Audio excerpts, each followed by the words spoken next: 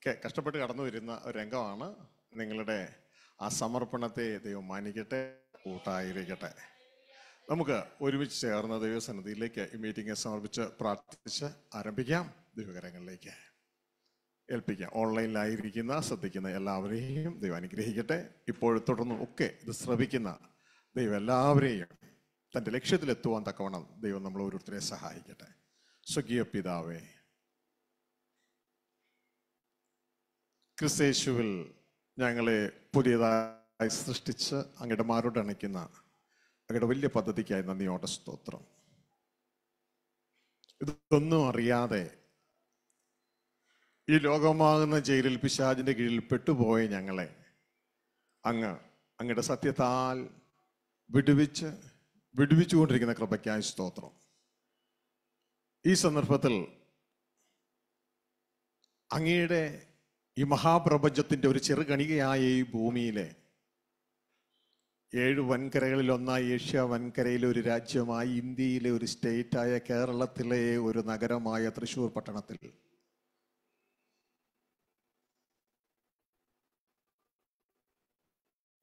അങ്ങയുടെ പ്രകാശമായി നിലകൊള്ളുവാൻ ഞങ്ങളെ കാണുന്നവൻ ഞങ്ങളെയല്ല അങ്ങയെ കാണുവാൻ തക്കവണ്ണം.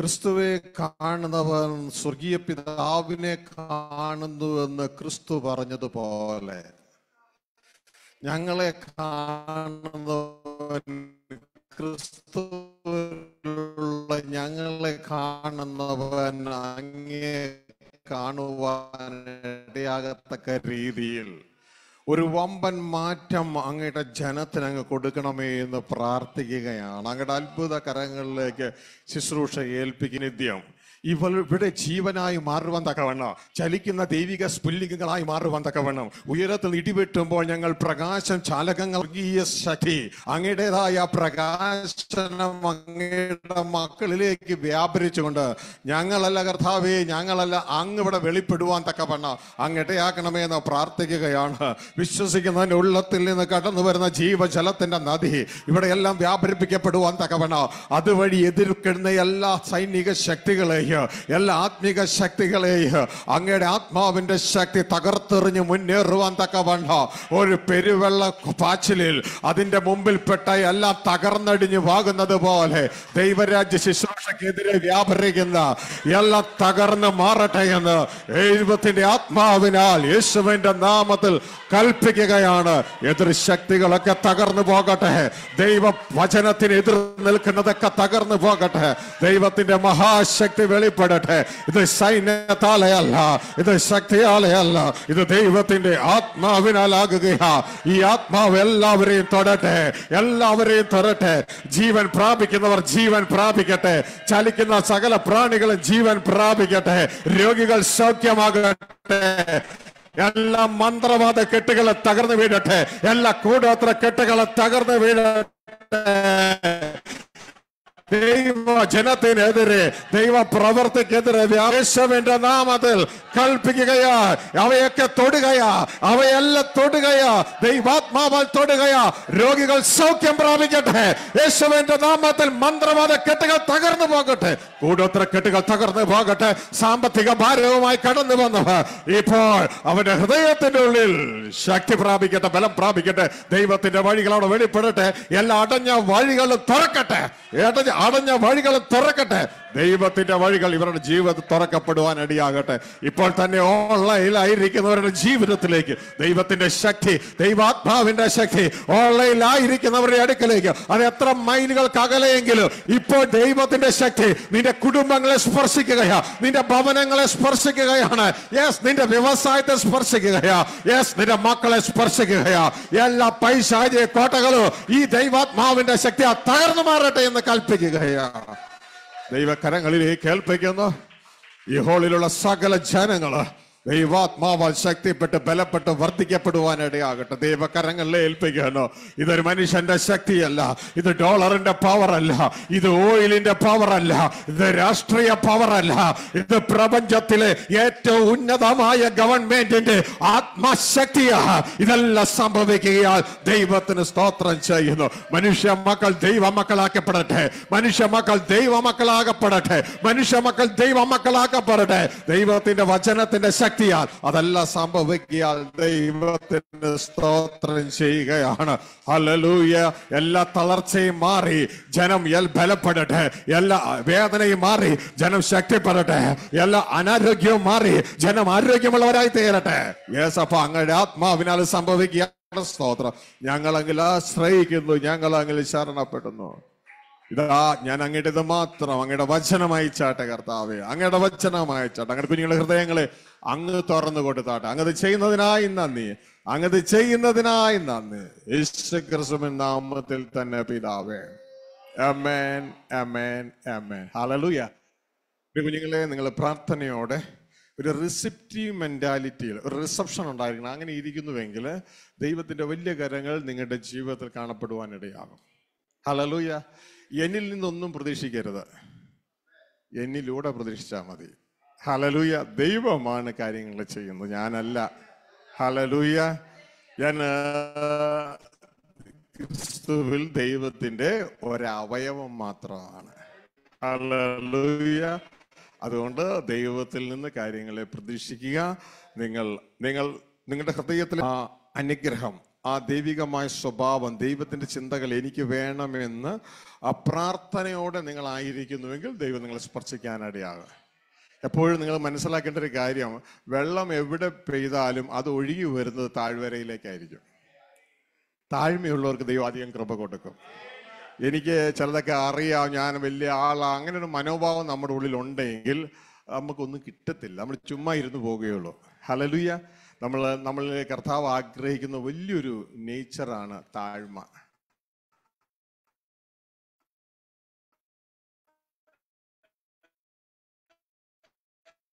ഹലലൂയ കർത്താവും പറയുന്നു ഞാൻ ഉണ്ടാകണം താഴ്മയോടെ. അപ്പൊ താഴ്മ ഇല്ലെങ്കിൽ എന്ത് ചെയ്യണം? തന്നെത്താൻ താഴ്ത്തണം. അല്ലേ? താഴ്മയില്ലെങ്കിൽ തന്നെത്താൻ അങ്ങ് താഴ്ത്തണം. ഹലലൂയ അപ്പോ പിന്നെ നമ്മൾ ക്രിസ്തുവിന്റെ സ്വഭാവത്തിലേക്ക് വരുമ്പോൾ നമ്മൾ ഓട്ടോമാറ്റിക് താഴ്മയുള്ളവരായി തീരുവാനായിട്ട് ഇടയാകും.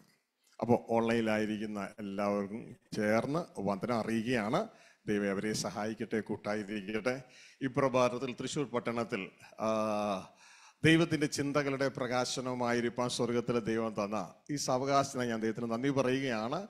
കടന്നു വന്ന എല്ലാവർക്കുമായി ദൈവത്തിന് സ്തോത്രം ചെയ്യുന്നു. പ്രിയ സഹോദരങ്ങളെ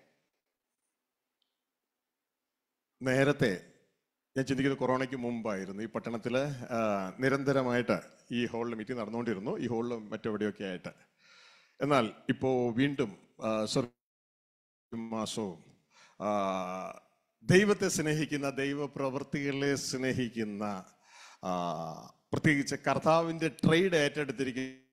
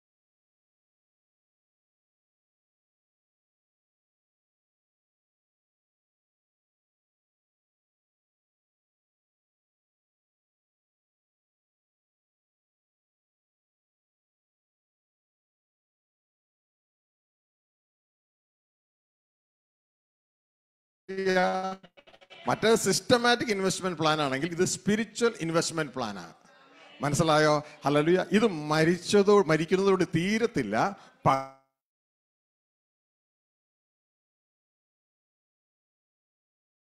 ക്രിസ്തുവിനെ കുറിച്ച് പറഞ്ഞെന്നറിയാമോ എല്ലാവരും മരിക്കുന്നവരുടെ അലക്സാണ്ടർ ചക്രവർത്തി ലോകം മുഴുവൻ കീഴടക്കി. മരിച്ചപ്പോൾ സീറോ ആയി. ഹലലുയ്യ ഈ ലോക രാജാക്കന്മാരെല്ലാവരും എത്ര ധനവാന്മാരായാലും മരിക്കുന്നതോടുകൂടെ സീറോ അത് ഇതാ കഴിഞ്ഞ ആഴ്ചയിൽ നമ്മളുടെ രത്തൻ ടാറ്റ മരിച്ചു. ഇല്ലേ? എന്തോരു സമ്പാദ്യമാണ് അല്ലേ? അല്ലേ? ശരിയല്ലേ? നിങ്ങൾ പലരും ടാറ്റ കാറിലായിരിക്കും വന്നത്. ടാറ്റയുടെ കമ്പനികളിലായിരിക്കും ജോലി ചെയ്യണേ. പക്ഷെ മരിച്ചതോടുകൂടെ പുള്ളി വട്ടപ്പൂജയായി അല്ലേ പക്ഷെ നമ്മുടെ കർത്താവിനെ കുറിച്ച് പറയാണ് മരിച്ചതോടുകൂടെ സമ്പന്നന്മാരോട് കൂടെയായി. അവന്റെ മരണത്തിൽ അവൻ സമ്പന്നന്മാരോട് കൂടെയായിരുന്നു. ഹലലുയ ഈ ഒരു ഇൻവെസ്റ്റ്മെന്റ് നിങ്ങൾ ചെയ്യുക. അതുകൊണ്ട് ഇവിടെ മീറ്റിംഗ് നടത്തുവാനായിട്ട് ചേർന്ന് പ്രവർത്തിക്കുന്ന എല്ലാവർക്കും ഞാൻ ദൈവത്തിന് സ്തോത്രം ചെയ്യുകയാണ്. This is real investment hallelujah real investment മരണത്തിൽ സമ്പന്നന്മാരോട് കൂടി ആയിത്തീരാനുള്ള റിയൽ ഇൻവെസ്റ്റ്മെന്റ് ഞാൻ എൻകറേജ് ചെയ്യുകയാണ്. ഇവരെ മാത്രമല്ല എന്നെ കാണുന്ന ആരൊക്കെ ഉണ്ടോ? നിങ്ങൾക്ക് റിയൽ ഇൻവെസ്റ്റ്മെന്റിന് താല്പര്യമുണ്ടോ? കർത്താവ് പറഞ്ഞു കമാൺ ഞാൻ നിങ്ങളെ മനുഷ്യരെ പിടിക്കുന്നവരാക്കും. ഹലലുയ മനുഷ്യരെ പിടിക്കുന്നവരൊക്കെ. അപ്പോൾ ആ ഇൻവെസ്റ്റ്മെന്റിലേക്ക് എല്ലാവരും ക്ഷണിക്കുകയാണ്. അപ്പോൾ പ്രിയ സഹോദരങ്ങളെ ഇന്ന് നിങ്ങളുമായി പറയാൻ ആഗ്രഹിക്കുന്ന കാര്യമെന്ന് പറയുന്നത് ദൈവത്തിന്റെ വചനത്തിൽ പറയുന്ന ഒരു ചിന്ത. നിങ്ങളെ അറിയിക്കാം. ചവിട്ടപ്പെടേണ്ട മനുഷ്യരും ഉയർത്തെഴുന്നേൽക്കേണ്ട ദൈവപുത്രന്മാരും. മനസ്സിലായില്ല അല്ലേ? ആദ്യമായിട്ട് ഇങ്ങനെ ഒരു ടൈറ്റിൽ കേൾക്കണം ഞങ്ങളുടെ ജീവിതത്തിൽ തന്നെ അല്ലെ? നിലത്തിട്ട് ചവിട്ടപ്പെടേണ്ട മനുഷ്യരും ഉയർത്തെഴുന്നേൽക്കുന്ന ദൈവപുത്രന്മാരും. രണ്ടും രണ്ട് കാറ്റഗറിയാ. കർത്താവിന്റെ ശുശ്രൂഷ എന്ന് പറയുന്ന കാറ്റഗറി മാറ്റുന്ന ശുശ്രൂഷയാണ് മനുഷ്യവർഗത്തെ മനുഷ്യപുത്രന്മാരെ ദൈവപുത്രന്മാരാക്കുന്ന ശുശ്രൂഷ. ആദമിക് തലത്തിലുള്ളവനെ ക്രിസ്തുവിന്റെ തലത്തിലേക്കുള്ളതാക്കി മാറ്റുന്ന ശുശ്രൂഷ. ഹലലിയ മനുഷ്യന്റെ കാറ്റഗറിയിലുള്ളവനെ ദൈവത്തിന്റെ കാറ്റഗറിയിലേക്ക് മാറ്റുന്ന ശുശ്രൂഷ. മനുഷ്യപുത്രന്മാരെ ദൈവപുത്രന്മാരാക്കി മാറ്റുന്ന ശുശ്രൂഷ. നിൽക്കുന്ന ദൈവപുത്രന്മാരാക്കുന്ന ശുശ്രൂഷ. അലലൂയ ഇതാണ് നിങ്ങൾ ഇന്ന് ദൈവം അനുവദി കേൾക്കാൻ പോകുന്നത്. കഴിഞ്ഞ സന്ദേശത്തിൽ എന്താ കേട്ടത് നിങ്ങൾ ഓർക്കുന്നുണ്ടോ? അനുപടി കഴിഞ്ഞ മാസത്തെ സന്ദേശത്തിൽ എന്താണ് നിങ്ങൾ കേട്ടത്? മിടുക്കികളും മിടുക്കന്മാരും തൃശ്ശൂർ പട്ടണത്തിലാണ് കൂടുതലെന്ന് തോന്നണം. ഓക്കെ? ക്ലറി പെട്ടെന്ന് പറഞ്ഞു. ലക്ഷ്യവും മാർഗവും. ഹലലുയ്യ അപ്പൊ ഫസ്റ്റ് പ്രൈസ് ഇവർ കൊണ്ടുപോകുന്ന തോന്നണ തൃശ്ശൂർക്കാര്. ഹലലുയ്യ ലക്ഷ്യവും മാർഗവും. ലക്ഷ്യം. ഓർമ്മയില്ലാത്തവർക്ക് വേണ്ടി പറയാം. നമ്മളുടെ സ്വർഗീയ പിതാവോട് കൂടെ ദൈവപുത്രനായ ക്രിസ്തുവിലുള്ള വാസമാണ് ലക്ഷ്യം. ഹലലുയ എന്നാൽ ആ ലക്ഷ്യത്തിലേക്ക് എത്താൻ ഭൂമിയിൽ ഒരു വഴിയുമില്ല. ഹലലുയ ഇവിടെയാണ് ദൈവകൃപയുടെ പ്രാധാന്യം. ഹലലുയ ഇതുകൊണ്ട് ഈ സുവിശേഷത്തിന് കൃപയുടെ സുവിശേഷം കൃപ എന്ന് പറഞ്ഞാൽ എന്താണെന്നറിയാമോ? അർഹിക്കാത്ത അങ്ങനെ ഒരു അങ്ങനെ ഒരു അങ്ങനെ ഒരു ഡെഫിനേഷൻ നിങ്ങൾക്ക് ഈ പുസ്തകത്തിൽ നിന്ന് കാണിച്ചു തരാമോ? ലോകം മുഴുവൻ ക്രിസ്തീയ സഭകൾ പറയുന്ന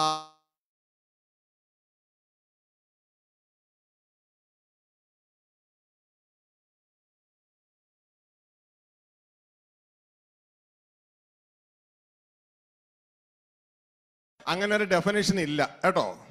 പകരം കൃപ എന്ന് പറഞ്ഞാൽ യേശു കർത്താവ് നേരിട്ട് പറയുന്ന ഡെഫിനേഷൻ പറഞ്ഞു തരാം മനുഷ്യരാൽ അസാധ്യമായത് ദൈവം സാധ്യമാക്കി കൊടുക്കുന്നതാണ് കൃപ. മനസ്സിലായോ? മറ്റത് നമ്മൾ പഠിച്ച തെറ്റാണ് അർഹിക്കാത്തവന് കൊടുക്കുന്ന ദാനം. അർഹിക്കാത്തവന് ദൈവം ഒന്നും കൊടുക്കത്തില്ല. ഈവൻ സാൽവേഷൻ പോലും നിത്യജീവനായി നിയമിക്കപ്പെട്ടവർക്കേ ഉള്ളൂ. മനസ്സിലായോ? നിത്യജീവനായി നിയമിക്കപ്പെട്ടവർ വിശ്വസിച്ചു. ഹലലൂയ ഈ വചനം ലഭിക്കേണ്ടതിന് നിങ്ങൾക്ക് വരം കിട്ടി അവർക്കോ കിട്ടിയിട്ടില്ല. അർഹിക്കുന്നവനെ ദൈവം കൊടുക്കും. ഹലലൂയ പക്ഷെ അർഹിക്കുന്നവർക്ക് ഇത് എടുക്കാനുള്ള കഴിവില്ല. അപ്പോ അവരെ കഴിവുള്ളവരാക്കുന്ന ദൈവം കഴിവുള്ളവരാക്കി കൊടുക്കുകയാണ്. ദൈവ സഹായം അവർക്ക് കൊടുക്കുകയാണ്. അങ്ങനെ ദൈവ സഹായത്തിലൂടെ അവരെ ലക്ഷ്യത്തിലെത്തിക്കുകയാണ്. ഹലലുയ ഇതുകൊണ്ടാണ് മത്തയുടെ പത്തായ സുവിശേഷം പത്തൊമ്പതാം അധ്യായത്തിൽ യേശു ക്രിസ്തു ശിഷ്യന്മാരോട് കൃപയുടെ ഡെഫിനിഷൻ പറഞ്ഞു. ശിഷ്യന്മാർ പറഞ്ഞു "ഓ, ഇങ്ങനെയാ പറഞ്ഞത്. ഒരു ധനവാൻ യേശുവിന്റെ അടുക്കലേക്ക് വന്നു. യേശുവിന്റെ അടുക്കലേക്ക് വന്നു. പുള്ളിയുടെ വിഷയം എനിക്ക് നിത്യജീവൻ വേണം. നല്ല വിഷയം. പക്ഷേ അവസാനം പുള്ളി വിഷമിച്ചു പോയി. യേശുവിന്റെ ഡിമാൻഡ് കണ്ടപ്പോൾ വിഷമിച്ച് പുള്ളി മടങ്ങി പോവുകയാണ്. ആ മടങ്ങി പോകുന്ന സമയത്ത് യേശുക്രിസ്തു ഇങ്ങനെ പറഞ്ഞു ധനവാൻ സ്വർഗരാജ്യത്തിൽ കടക്കുന്നതിനേക്കാൾ ഒട്ടകം സൂചിക്കുഴലിലൂടെ കടക്കുന്നതാണ് എളുപ്പം എന്ന് പറഞ്ഞപ്പോൾ ഉടനെ ശിഷ്യന്മാർ ചോദിച്ചു അങ്ങനെയെങ്കിൽ ആർക്ക് രക്ഷപ്പെടാൻ പറ്റും? അപ്പോൾ ശിഷ്യന്മാർ എന്നാ പറഞ്ഞ്? അങ്ങനെയെങ്കിൽ ആർക്ക് ആർക്ക് രക്ഷപ്പെടാൻ പറ്റും? അല്ലേ? നമ്മൾ എങ്ങനെ രക്ഷപ്പെട്ടെ? നമ്മൾ എങ്ങനെ രക്ഷപ്പെട്ട്? എഫ് എസ് രണ്ടാം പറ- രണ്ടാം അധ്യായം പറയും നമ്മൾ എങ്ങനെ രക്ഷപ്പെട്ടെ? കൃപയാലല്ലോ വിശ്വാസത്താൽ നാം രക്ഷപ്പെട്ടത്. ശിഷ്യന്മാരുടെ ചോദ്യം അത് തന്നെയല്ലേ? അങ്ങനെയെങ്കിൽ ആർക്ക് രക്ഷ പ്രാപിക്കാൻ പറ്റൂ. ഓടനെ യേശു കൃപയുടെ ഡെഫനിഷൻ പറയാണ് ഇത് മനുഷ്യരാൽ അസാധ്യമാണിത്. രക്ഷിക്കപ്പെടാൻ മനുഷ്യർ അസാധ്യമോ? മനുഷ്യന് പറ്റില്ല. പക്ഷെ ഇത് ദൈവം സാധ്യമാക്കി കൊടുക്കൂ. അതിന്റെ പേരാ കൃപ. കൃപയാലല്ലോ വിശ്വാസം മൂലം നാം രക്ഷ പ്രാപിച്ചത്. മനസ്സിലായോ? ഹലലൂയ രക്ഷിക്കപ്പെടാൻ നാം വല്ലതും ചെയ്തോ? ഒന്നും ചെയ്തില്ല. ചെയ്യുന്നതൊക്കെ ആരാ? സ്വർഗീയ പിതാവ് ക്രിസ്തുവിലൂടെ ചെയ്തു. കണ്ടോ കണ്ടോ കേട്ടോ? മനുഷ്യർ അസാധ്യമായത് ദൈവം സാധ്യമാക്കി കൊടുക്കുന്ന കണ്ടോ? അല്ലല്ലോ മനുഷ്യന് ഇത് കഴിയില്ല. ദൈവ സാധ്യമാക്കി കൊടുക്കുകയാണ് നമ്മൾ എന്താ ചെയ്താൽ മാത്രം മതി? ദൈവം ചെയ്തതിനെ അംഗീകരിച്ചാൽ മതി. ഞാൻ വിശ്വസിക്കുന്നു യേശു ക്രിസ്തു ദൈവപുത്രനാണെന്ന്. ഹലലൂയ സ്വർഗീയ പിതാവ് അയച്ചിട്ടാ വന്നേന്ന് ഞാൻ വിശ്വസിക്കുന്നു. രക്ഷിക്കപ്പെടാത്ത ആരെങ്കിലും ഉണ്ടെങ്കിൽ ഇത് ഏറ്റെടുത്തോ.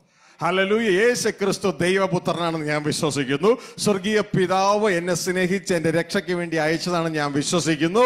യേശു ക്രിസ്തു കാൽവലിയിൽ മരിച്ചത് എന്റെ പാപത്തിന് വേണ്ടിയാണെന്ന് ഞാൻ വിശ്വസിക്കുന്നു. ഇതാ യേശുവേ എന്റെ ഹൃദയത്തിലേക്ക് അങ്ങ് എന്റെ കർത്താവായി എന്റെ രക്ഷിതാവായി കടന്നു വരണമേ. എന്നെ നിത്യമായ ആ അപ്പന്റെ അടുക്കലേക്ക് സ്വർഗീയ പിതാവിന്റെ അടുക്കലേക്ക് അങ്ങനെ നയിക്കണമേ. തുടർന്ന് യേശുവെ അനുഗമിച്ച് അനുസരിക്കാൻ തീരുമാനമെടുത്താൽ നീ ലക്ഷ്യത്തിലെത്തു. അപ്പോൾ മനസ്സിലായോ പ്രിയ കുഞ്ഞുങ്ങളെ ഇതാ അങ്ങോട്ടേക്കുള്ള ഏക മാർഗം. സ്വർഗത്തിലെ ദൈവം ഒരുക്കിയത് തന്റെ പുത്രനായ ക്രിസ്തുവിലൂടെയാണ്. യേശു ക്രിസ്തുവാണ് ഏക മാർഗം. ഹാലലൂയ ആകാശത്തിന് കീഴിൽ മനുഷ്യരുടെ ഇടയിൽ മനുഷ്യരക്ഷയ്ക്കായി വേറൊരു നാമോ നൽകിയിട്ടില്ല. ഹലലൂയ ഇത് വ്യക്തതയോടെ തിരിച്ചറിയുക. നമുക്ക് അസാധ്യമായ കാര്യം ദൈവം സാധ്യമാക്കി തന്നു. നമുക്ക് പറ്റും. എന്ത്? ഒരു ബുർജ് ഖലീഫ ബിൽഡിംഗ് പണിയാൻ പറഞ്ഞ ഒരു പക്ഷെ തൃശ്ശൂർക്കാരെല്ലാം കൂടെ പിരിവിട്ട് ഇല്ലേ? ദുബായിലുള്ളതുപോലെ ഒരെണ്ണം പണിയാൻ പറ്റും. പക്ഷേ ഒരുവനെ രക്ഷയിലേക്ക് കൊണ്ടുവരാൻ പറ്റുമോ തൃശ്ശൂർക്കാർക്ക്? ഇല്ല. അപ്പൊ മനുഷ്യരൽ അസാധ്യമായത് ദൈവം സാധ്യമാക്കി തന്നു. നമ്മൾ അംഗീകരിച്ചാൽ മാത്രം മതി. മനസ്സിലായി? അംഗീകരിച്ചാൽ മാത്രം മതി. ഹലലൂയ അപ്പൊ രക്ഷയുടെ ഡെഫിനേഷൻ മനസ്സിൽ കൃപയുടെ ഡെഫിനേഷൻ മനസ്സിലായോ? ഹലലൂയ ആ ചിലർക്ക് ഇപ്പോഴും ഒരു സംശയം പോലെ നിൽക്കുന്നത് കൊണ്ട് നമുക്ക് ആ രണ്ട് വേടൊന്ന് വായിച്ചിട്ട് കടന്നു പോകാം. വചനം വായിക്കാൻ ആരെങ്കിലും ഉണ്ടോ ഇവിടെ? മൈക്കിലൂടെ? ഇല്ലെങ്കിൽ ഒന്ന് സെറ്റ് ചെയ്യണേ. അല്ലെ നമുക്ക് എല്ലാം വചനത്തിലൂടെ സെറ്റ് ചെയ്ത് വേണം കടന്നു പോകാനായിട്ട്. വചനത്തിലൂടെ അല്ലാതെ വേറൊരു കാര്യവും ഇവിടെ ഉണ്ടാകരുത്. Oh father we thank you മത്തായുടെ സുശേഷം പത്തൊമ്പതാം അധ്യായം. ഇരുപത്തിനാലാം വാക്യം വായിച്ച് ഉറക്ക ഇപ്പൊ ഉറക്ക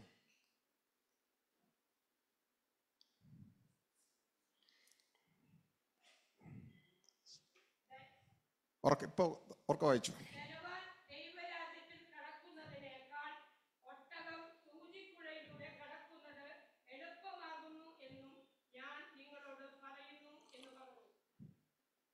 താഴേക്ക്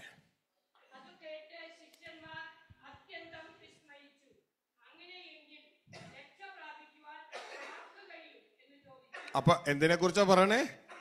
രക്ഷയെ കുറിച്ച് അങ്ങനെയെങ്കിൽ രക്ഷ പ്രാപിപ്പാൻ ആർക്ക് കഴിയും? അപ്പോ ഇവരുടെ ചിന്ത രക്ഷ അങ്ങനെ ആർക്കും കഴിയത്തില്ല. പക്ഷേ യേശുക്രിസ്തു പറയുകയാണ് അതിന്റെ രക്ഷ ഡെഫിനിഷൻ ഇനി വരാൻ പോണ സംഭവമാണ് രക്ഷയുടെ ഡെഫിനിഷൻ രക്ഷ പ്രാപിക്കാൻ ആർക്ക് കഴിയും? താഴേക്ക്.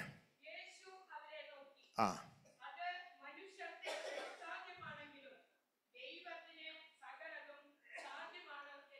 അപ്പൊ എങ്ങനെയാ ഒരുത്തൻ രക്ഷിക്കപ്പെടുന്നത് മനുഷ്യർക്ക് അത് അസാധ്യമാണ്. ദൈവം അത് സാധ്യമാക്കി കൊടുക്കുന്നു. മനസ്സിലായോ? മനുഷ്യർക്ക് അസാധ്യമായത് ദൈവം സാധ്യമാക്കി കൊടുത്ത ക്രമീകരണമാണ് കാൽവരി ക്രൂശിലെ തന്റെ പുത്രന്റെ യാഗം. മനസ്സിലായോ? ഇനി എഫ് എസ് ലേഖനം രണ്ടിലേക്ക് വന്നേ. അപ്പോ നമ്മൾ എങ്ങനെയാ രക്ഷിക്കപ്പെട്ടേന്ന് അവർ എഴുതിയിട്ടുണ്ട്. രണ്ടാം അധ്യായം അതിന്റെ എട്ടാം വാക്യം. എങ്ങനെ രക്ഷിക്കപ്പെട്ടെ? അപ്പൊ എങ്ങനെ രക്ഷിക്കപ്പെട്ടെ? കൃപയാല. എന്താ കൃപ? മനുഷ്യർ അസാധ്യമായത് ദൈവം സാധ്യമാക്കി തരികയാ. മനസ്സിലാവുന്നുണ്ടോ? ഹല ഇത് തന്നെയാണ് ക്രിസ്തീയ ജീവിതം മുഴുവൻ. ഹലലൂയ ഈ കൃപ കിട്ടണമെങ്കിൽ എന്ത് വേണം? ഒരു സ്വിച്ച് ഓൺ ചെയ്യണം. എന്താ സ്വിച്ച്? ആ താഴ്മയുള്ളവർക്ക് ദൈവം അധികം കൃപ കൊടുക്കുന്നു. ഹലലൂയ നിഗളികളോട് ദൈവം എതിർത്ത് നിൽക്കുന്നു ഇന്ന് പലർക്കും ദൈവരാജ്യ സുവിശേഷം മനസ്സിലാകാത്തതിന്റെ കാര്യം എന്നാണെന്നറിയാമോ ഈ സംഭവ. എനിക്കെല്ലാം അറിയാം. ഞാനെല്ലാം തികഞ്ഞതാ. നോ നോ നോ നോ ദൈവസന്നിധിയിൽ അങ്ങനെയല്ല. ഞാൻ ആയിരിക്കുന്നത് അങ്ങയുടെ കൃപയാല. അങ്ങേ കൂടാതെ എനിക്ക് ഒന്നും ഒരു ശ്വാസം പോലും വലിക്കാൻ എനിക്ക് കഴിയില്ല. താഴ്മയോടെ ദൈവസന്ധിയിൽ വാ. നമ്മളുടെ അറിവ് നമ്മളെ ചീർപ്പിക്കരുത്. നമ്മളുടെ അറിവ് സത്യത്തിന്റെ ആണെങ്കിൽ നമ്മൾ താഴ്മ ധരിക്കും. നമ്മുടെ അറിവ് ലോകത്തിന്റെ ആണെങ്കിൽ നമ്മൾ നികളം ധരിക്കും. ഹലലൂയ പക്ഷെ ബൈബിളിലെ അറിവ് നമ്മൾ ഏറ്റെടുത്തിട്ട് അത് നമ്മൾ ഉപയോഗിക്കുന്നില്ലെങ്കിൽ അത് നമ്മളെ നികളം കൊണ്ടുവരും. ഹലലൂയ പക്ഷെ ബൈബിളിലെ അറിവ് നമ്മളുടെ ജീവിതമായി മാറുമ്പോൾ നമുക്ക് ക്രിസ്തുവിന്റെ സ്വഭാവം വരും. ഈ ഒരു ചിന്ത ക്രിസ്തുവോ പറയാണ് ഞാൻ സൗമ്യതയും താഴ്മയുമുള്ളവനാണ്. അപ്പോൾ ഈ ഒരു നേച്ചറിലേക്കാണ് നമ്മുടെ അനുദിന ക്രിസ്തീയ ജീവിതം മുന്നോട്ടേക്ക് പോകേണ്ടത്. അപ്പോൾ കഴിഞ്ഞ സന്ദേശത്തിന്റെ ടൈറ്റിൽ ലക്ഷ്യവും ആ ലക്ഷ്യത്തിലേക്കുള്ള മാർഗവുമായിരുന്നു. ഹലലൂയ അപ്പോൾ ഈ കൂട്ടത്തിൽ ശബ്ദ കാഴ്ച പരിധിയിൽ ആരെങ്കിലും ഈ ദുഷ്ടലോകത്ത് നിന്ന് രക്ഷപ്പെടാതിരിക്കുന്നുവെങ്കിൽ പിശാജിന്റെ കീഴിൽ നിന്ന് രക്ഷപ്പെടാതിരിക്കുന്നുവെങ്കിൽ പ്രിയ സഹോദരങ്ങളെ നിങ്ങളോട് ഓർപ്പിക്കട്ടെ അധികം നാൾ കഴിയുന്നതിന് മുമ്പ് മരണം നിങ്ങളെ തൂക്കിയെടുത്ത് കളയും. എന്നാൽ മരണത്തെ തൂക്കിയെടുത്ത് കളയുന്ന ഒരു സ്ട്രാറ്റജി ദൈവം ഭൂമിയിൽ വെച്ചിട്ടുണ്ട് തന്റെ പുത്രനായ ക്രിസ്തുവിലൂടെ. അതിൽ എൻറോൾ ചെയ്യുവാൻ തക്കവണ്ണം അതിലേക്ക് കടന്നു വരുവാൻ നിങ്ങൾ ഏവരെയും സ്നേഹത്തോടെ ക്ഷണിക്കുകയാണ്.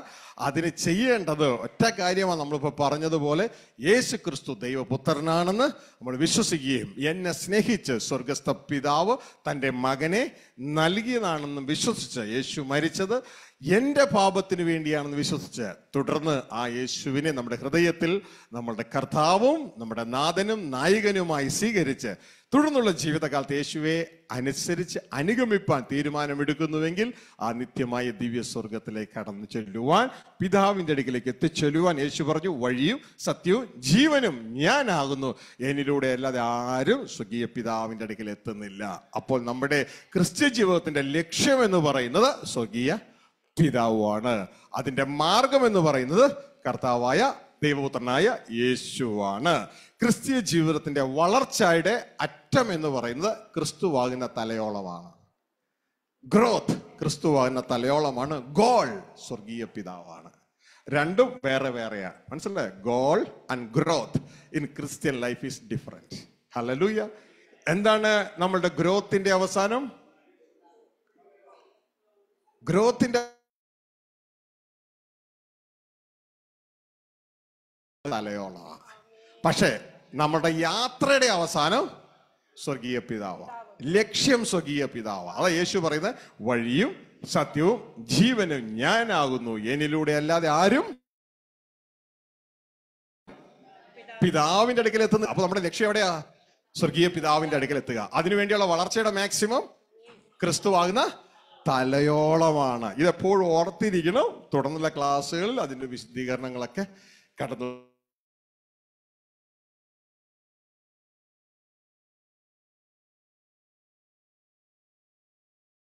പ്പെടുന്ന മനുഷ്യപുത്രന്മാരും എന്നാൽ ചവിട്ടപ്പെടാതെ ഉയർത്തെഴുന്നേൽക്കുന്ന ദൈവപുത്രന്മാരും. ഒന്ന് ആദത്തിന്റെ കാറ്റഗറി മറ്റത് ക്രിസ്തുവിന്റെ കാറ്റഗറി. ഹലലുയ ഒന്ന് വീണുപോയ മനുഷ്യന്റെ കാറ്റഗറി മറ്റത് മരണമില്ലാത്ത ദൈവത്തിന്റെ കാറ്റഗറി. രണ്ട് കാറ്റഗറിയാണ് നാം ഇനി മനസ്സിലാക്കുവാനായിട്ട് പോകുന്നത്. അപ്പോൾ ഇതിന് ആധാരമായിട്ട് നമുക്കൊരു വചനം വായിക്കാം. ലൂക്കോസ് സുശേഷം പതിനാലാം അധ്യായം മുപ്പത്തിനാല് മുപ്പത്തി അഞ്ച്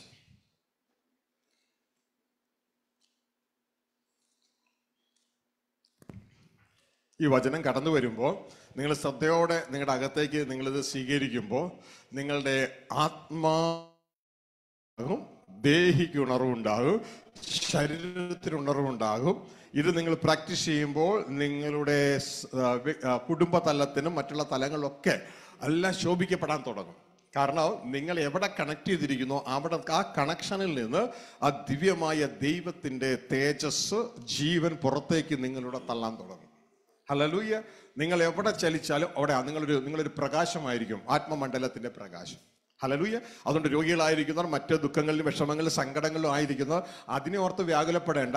ഈ ആത്മാവിലൂടെ ഈ വചനത്തിലൂടെ കടന്നു വരുന്ന ദൈവിക ശക്തി അവിടെ സ്പർശിക്കാൻ നിങ്ങൾ താഴ്മയോടെ ഇരുന്നാൽ മതി. ദൈവവചനം ബാക്കി കാര്യങ്ങളൊക്കെ ചെയ്തോളും. എന്റെ സ്വരത്തിന്റെ മിടുക്കുകൊണ്ടൊന്നുമല്ല ആരും സൗഖ്യമാകുന്നത് മാറ്റം സംഭവിക്കുന്നത്. ദൈവ സാന്നിധ്യത്തിന്റെ ശക്തി കൊണ്ടാണ്.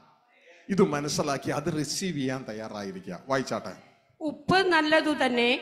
ഉപ്പ് മില്ലാതെ പോയി.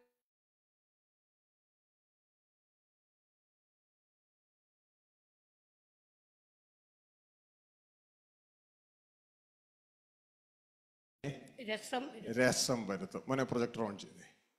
ഇതാ. നിങ്ങൾക്ക് ഞാൻ പലപ്പോഴും പണ്ടൊക്കെ വീട്ടിൽ കേട്ടിട്ടുള്ളതാ. ഇതെന്തുവാ മധുരമില്ലാത്ത? അപ്പോ അമ്മയാണെങ്കിൽ അമ്മ അല്ലെങ്കിൽ ഭാര്യയാണെങ്കിൽ ഭാര്യ. പറയണ കാര്യം ഈ പഞ്ചസാര ഒന്നിനും കൊള്ളത്തില്ല. എത്ര കളിക്കിയാലും മധുരമില്ല. ഇട്ടത് പക്ഷെ മധുരം കിട്ടണില്ല പഴയതുപോലെ. അപ്പോ അതിന്റെ അർത്ഥം ആ പൊടി കലക്കിയിട്ടും പഞ്ചസാര ആ സോ ആ മധുരം കൊടുക്കുന്ന ആ എലമെന്റ് അതിൽ കുറവാണ്. ഇതായി പറയുന്ന അർത്ഥം.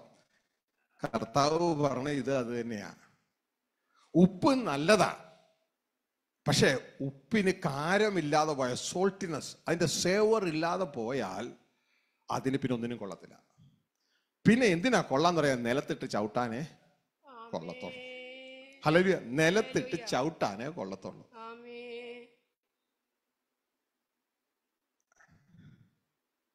നിങ്ങൾക്ക് വല്ലതും മനസ്സിലായ കർത്താവ് പറഞ്ഞേ നിലത്തിട്ട് ചവിട്ടാനേ കൊള്ളത്തുള്ളൂ. നിങ്ങളൊന്ന് ചിന്തിച്ചു നോക്കിയേ.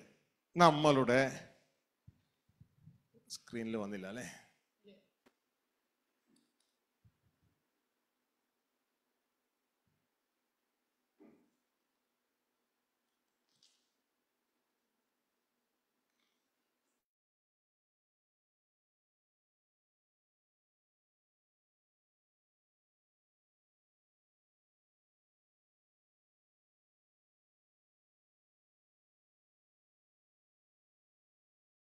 അവരുടെയൊക്കെ ശരീരം എന്ത് ചെയ്യേ? എല്ലാം ഭൂമിയിലില്ലേ? ഇപ്പൊ നമ്മൾ ഇതിന്റെ മുകളിൽ കൂടി നടക്കണേ? നമ്മൾ ഏതിന്റെ മുകളിൽ കൂടി നടക്കണേ? അവരുടെ മുകളിൽ കൂടി നടക്കണേ. അല്ലേ? ശരിക്കും പറഞ്ഞാൽ അവരെയൊക്കെ ഇപ്പൊ നിലത്തിട്ട് ചവിട്ടുമല്ലേ നമ്മൾ? അല്ലേ? അവരെയൊക്കെ നിലത്തിട്ട് ചവിട്ടുമല്ലേ ഈ കാണുന്നണ്ട ഇത് ഇപ്പോഴത്തെ എവിടത്തെയോ സെമറ്ററിയാ സെമത്തേരി മനസ്സിലായോ? എവിടത്തെയോ സെമത്തേരിയാ ഇവരെ ചവിട്ടിയാണ് നമ്മളങ്ങ് നടക്കണേ. നിലത്തിട്ട് ചവിട്ടാനേ കൊള്ളത്തുള്ളൂ. അല്ലേ? എന്നാൽ കാരമുള്ള വല്ലതും ഉണ്ടെങ്കിൽ അതിനെ നിലത്തിട്ട് ചവിട്ടാൻ കിട്ടത്തില്ല. നിങ്ങൾക്കറിയാമല്ലോ ഇത്രയും മനുഷ്യരിവിടെ വന്നു പോയിട്ട് നിലത്തിട്ട് ചവിട്ടുക. എന്നാൽ അതിന്റെ ഇടയിൽ ഒരാളിവിടെ വന്നു. കിട്ടിയില്ല. ദൈവപുത്രനായ കർത്താവായ യേശു കാരമുള്ളവൻ. സ്വർഗീയതയുള്ളവൻ ദൈവിക ജീവനുള്ളവൻ ഒരുവൻ ഇവിടെ വന്നു. ആ ഒരുവനെ മാത്രം ഇതാ നിലത്തിട്ട് ചവിട്ടാൻ കിട്ടിയില്ല. നിലത്തിട്ട് ചവിട്ടാൻ കിട്ടിയില്ല. മനസ്സിലായോ? നിലത്തിട്ട് ചവിട്ടാൻ വേണ്ടി കല്ലറയിൽ അടച്ചു. പക്ഷെ തന്റെ ദാസനെ ദ്രവത്വം കാണാൻ ദൈവം അനുവദിച്ചില്ല. കാരണം അവന്റെ ഉള്ളിൽ എന്നാ ഉണ്ട്? ഹെവൻലിനെസ് ഉണ്ട്.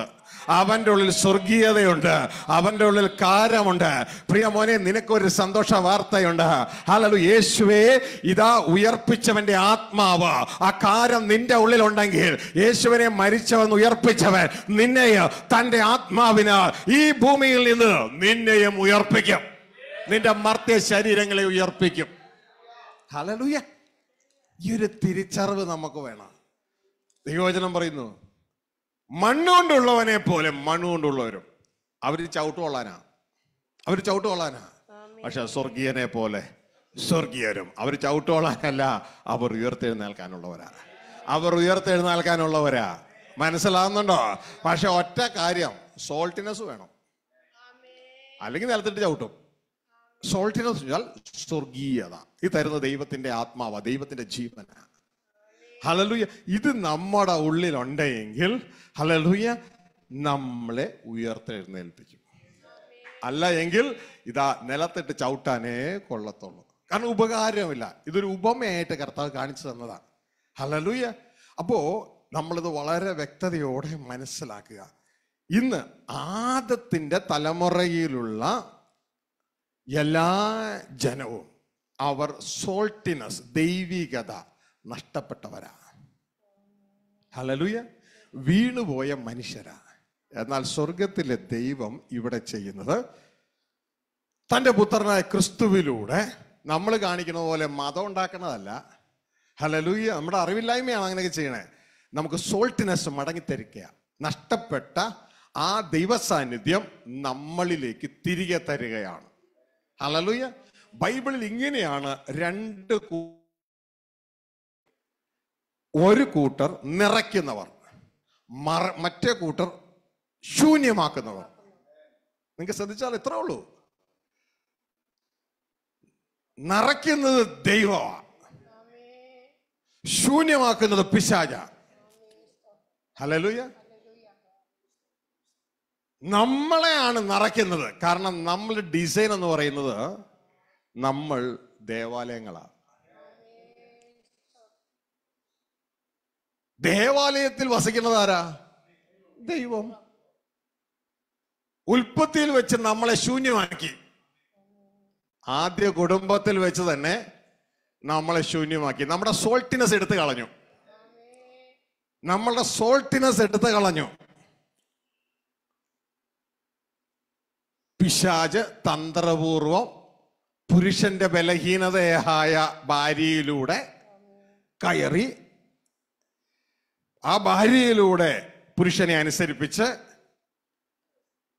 സോൾട്ടിനസ് ആ ഹെവലിനസ് ദൈവ സാന്നിധ്യം അവനിൽ നിന്ന് എടുത്തു മാറ്റി. ഹലലുയ അങ്ങനെ സകല മനുഷ്യരും ദൈവസാന്നിധ്യം ഇല്ലാത്തവരായി മാറി. കാരണം ആദത്തിന്റെ ഉള്ളിലുണ്ടായിരുന്നു എല്ലാ മനുഷ്യരും. ഹലലുയ ഏക മനുഷ്യന് പാപവും പാപത്താൽ മരണവും ലോകത്തിലേക്ക് കടന്നു. കാരണം സോൾട്ടിനെസ് ഇല്ലാത്തവനെ എന്തിനാ കൊള്ളൂ എന്ന് പറഞ്ഞോളൂ? കാരമില്ലാത്ത ഉപ്പിനെ എന്തിനാ കൊള്ളുള്ളൂ? നിലത്തിട്ട് ചവിട്ടാൻ. ദൈവസാന്നിധ്യം ഇല്ലാത്തവനെ എന്തിനാ കൊള്ളുള്ളൂ? നിലത്തിട്ട് ചവിട്ടാൻ. അവൻ മരിച്ചു പോകും. ദൈവസാന്നിധ്യം വന്നാൽ പിന്നെ മരണത്തിന് ദൈവസാന്നിധ്യത്തെ കീഴടക്കാൻ പറ്റൂല. ഹലലുയ ദൈവ സാന്നിധ്യം വന്നാൽ മരണത്തിന് കീഴടക്കാൻ പറ്റത്തില്ല. ആ ദൈവ സാന്നിധ്യം ഉള്ളവരുടെ ശരീരം എങ്ങനെയും വെട്ടിമുറിച്ച് കുഴിച്ചു മൂടാൻ നോക്കിയാൽ ഉടമസ്ഥൻ നോക്കുമ്പോൾ എന്റെ സാധനം ദേ താഴെ ഭൂമിക്ക് അരി എണീറ്റ് പോടാൻ മോനെ എന്ന് പറയും. ഇങ്ങ പോരെ ഇങ്ങ പോരാ. മനസ്സിലായോ? ഒരെണ്ണത്തിന് അവിടെ ഇടത്തില്ല. ഹലലുയ്യ അപ്പോ ഇതുകൊണ്ടാണ് പറയുന്നത് യേശു ക്രിസ്തുവിനെ മരിച്ചവരെന്ന് ഉയർപ്പിച്ചവന്റെ ആത്മാവ് നിന്നിൽ വസിക്കുന്നുവെങ്കിൽ. ഹലലൂയ ദൈവം ആ യേശുവിനെ മരിച്ചൊന്ന് ഉയർപ്പിച്ചവന്റെ ആത്മാവ് കൊണ്ട് തന്നെ നിന്നെ ഉയർത്തെഴുന്നേൽപ്പിക്കും. ഹലലൂയ അപ്പോൾ എന്റെ പ്രിയ കുഞ്ഞുങ്ങളെ ഈ കാറ്റഗറി ചേഞ്ച് ചെയ്യുന്ന ഒരു മണ്ഡലമാണ് സുവിശേഷ മണ്ഡലം. അല്ലാണ്ട് ഇത് മതം മാറുന്ന മണ്ഡലമല്ല. കാറ്റഗറി മാറുകയാ. നമ്മളെ ശരിക്കും കബ ഇങ്ങനൊരു സംഭവമേ സംഭവം ഇതില്ല. കാറ്റഗറി ചേഞ്ച് ചെയ്യുകയാണ്. ആദ്യത്തിന്റെ മരണമുള്ള കാറ്റഗറിയിൽ നിന്ന് ക്രിസ്തുവിന്റെ മരണമില്ലാത്ത കാറ്റഗറിയിലേക്ക് മാറ്റം സംഭവിക്കുക. എന്റെ പ്രിയ കുഞ്ഞുങ്ങളെ ശ്രദ്ധയോടെ ഇരിക്കണേ. ഹലലുയ്യ ഇത് നിങ്ങളുടെ അകത്തേക്ക് കയറുമ്പോണ്ടല്ലോ നിങ്ങളുടെ ജീവിതത്തിന്റെ റിയൽ മണ്ഡലങ്ങളെ ദൈവം സ്പർശിക്കാൻ തുടങ്ങും. ഹലലൂയ അകമണ്ഡലങ്ങളെ സ്പർശിക്കുവാനായിട്ട് തുടങ്ങും. ഹലലൂയ ഈ ഒരു തലം നിങ്ങൾ ഈ തലം ഒന്ന് മനസ്സിലാക്കി പ്രവർത്തിച്ചാൽ മതി. നിങ്ങളുടെ ഉള്ളിൽ ദൈവത്തിന്റെ ശക്തി പ്രവർത്തിക്കാൻ തുടങ്ങും. അത് ഇവിടം കൊണ്ട് തീരുന്ന ഒരു സംഭവമല്ല. അല്ലെങ്കിൽ ഇവിടം കൊണ്ട് തീരുന്നൊരു സംഭവമല്ല. നിങ്ങൾ സ്വർഗീയ കുടുംബക്കാരാക്കുക. അങ്ങനെ സ്വർഗീയ കുടുംബക്കാരാക്കിയാൽ ദൈവത്തിനുള്ളതൊക്കെ നിങ്ങൾക്കുള്ളതായി മാറും. ദൈവത്തിന്റെ ജീവൻ നിങ്ങളുടെ ജീവനായി മാറുക ദൈവത്തിന്റെ സമ്പത്ത് നിങ്ങളുടെ സമ്പത്തായി മാറുക ദൈവത്തിന്റെ ജ്ഞാനം നിങ്ങളുടെ ജ്ഞാനമായി മാറുക ദൈവത്തിന് എന്തൊക്കെ ഉണ്ടോ അതൊക്കെ നിങ്ങളുടേതായി മാറുക ഹലലു ഇതുകൊണ്ടാണ് ദൈവത്തിന്റെ വചനം പറയുന്നത് ക്രിസ്തുവിൽ ദൈവം ഞങ്ങൾക്ക് ജ്ഞാനമായി തീർന്നു. ഹലലൂയ ദൈവത്തിന്റെ ജ്ഞാനം പിന്നെ നിങ്ങൾക്ക് അവൈലബിളാ അപ്പോൾ വളരെ ശ്രദ്ധയോടുകൂടെ ദൈവസന്ധിയിലായിരിക്കുക ഇത് മതം മാറ്റുന്ന ഒരു പരിപാടിയല്ല. താൽക്കാലികമായി ശരീരത്തിന് എന്തെങ്കിലും തന്നിട്ട് നരകത്തെ തള്ളിവിടുന്ന പരിപാടിയല്ല. പകരം നിത്യമായ ദൈവ കുടുംബത്തിൽ ദൈവത്തോടൊപ്പം ക്രിസ്തുവിൽ ദൈവത്തിന്റെ മകനായി ക്രിസ്തുവിന്റെ കൂട്ടവകാശിയായി ക്രിസ്തുവിന്റെ സഹോദരനായി നിത്യം ജീവിക്കുന്ന പദ്ധതിയാണ് ഇത് എന്ന് നിങ്ങളുടെ കയ്യിലുള്ള വിശുദ്ധ ബൈബിളിലൂടെ നിങ്ങൾക്ക് തിരിച്ചറിയാൻ പറ്റും. അല്ല നിങ്ങളുടെ കയ്യിലുള്ള വിശുദ്ധ ബൈബിളിലൂടെ തിരിച്ചറിയാൻ കഴിയും. ഹലലുയ്യ അപ്പോ ഇവിടെ എല്ലാം സംസാരിക്കുന്നത് ദാ ഈ വിശുദ്ധ ബൈബിൾ പ്രകാരമായിരിക്കും. നിങ്ങളുടെ കയ്യിലുള്ള വിശുദ്ധ ബൈബിളിലൂടെ കാര്യങ്ങളെ ഉറപ്പിച്ച് ബരോവിലുള്ളവരെ പോലെ ഉത്തമന്മാരായി മുന്നോട്ടേക്ക് പോകാൻ ഓർപ്പിക്കുകയാണ്. നമ്മൾ ഇന്ന് ഏതെങ്കിലും സംഘടനയിലായിരിക്കാം. ഒന്നില്ലെങ്കിൽ യാക്കോബ സംഘടനയിലോ കത്തോലിക്ക സംഘടനയിലോ പെന്തക്കോ സംഘടനയിലോ ബ്രദർ സംഘടനയിലോ ഒന്നും ആയിരി എവിടെയെങ്കിലുമൊക്കെ ആയിരിക്കാം. അവരെക്കുറിച്ചൊന്നും ഞാനൊന്നും പറയുന്നില്ല. എല്ലാത്തിനും ഒരു സ്ട്രക്ചർ ഒരു ഫ്രെയിം വർക്ക് ആവശ്യമാണ്. പക്ഷേ ഇവിടെ ഞാൻ നിങ്ങളോട് പറയുന്നതൊക്കെ സ്വർഗീയ കുടുംബത്തെക്കുറിച്ചാണ്. ഇതുകൊണ്ടാണ് ദൈവത്തിന്റെ വചനം പറഞ്ഞ നാം അന്യരും പരദേശികളുമല്ല വിശുദ്ധന്മാരുടെ സഹപൗരന്മാരും ദൈവത്തിന്റെ വീട്ടുകാരും അത്രേ. ഹലലു അപ്പൊ ഇവിടെ പറയുന്നത് ദൈവത്തിന്റെ വീട്ടുകാരെ കുറിച്ചാണ് ഹലലു എഫ് എസ് ലേഖനം രണ്ടിന്റെ പതിനെട്ട് പത്തൊമ്പത് ഒന്ന് വായിച്ച്. എഫ് എസ് ലേഖനം രണ്ടിന്റെ പതിനെട്ട് പത്തൊമ്പത്.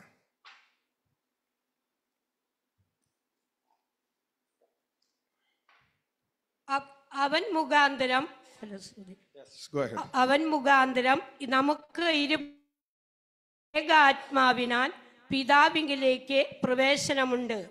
ആകയാൽ നിങ്ങൾ ഇനി അന്യന്മാരും പരദേശികളുമല്ല. വിശുദ്ധന്മാരുടെ സഹപൗരന്മാരും ദൈവത്തിന്റെ ഭവനക്കാരുമത്രേ. അപ്പൊ ദൈവത്തിന്റെ വീട്ടുകാരായി ആരാണ്? ദൈവത്തിന്റെ ഭവനക്കാർ ദൈവത്തിന്റെ വീട്ടുകാർ. പറഞ്ഞ ശീലമുണ്ടോ? ഇല്ലെങ്കിൽ ഒന്ന് ശീലിച്ചു തുടങ്ങാം. നമ്മൾ ഇതുവരെയും പറഞ്ഞത് ഞാൻ പെന്തക്കോസുകാരൻ ഞാൻ ബ്രദറൻകാരൻ ഞാൻ മാർത്തോമക്കാരൻ അങ്ങനെയല്ലേ?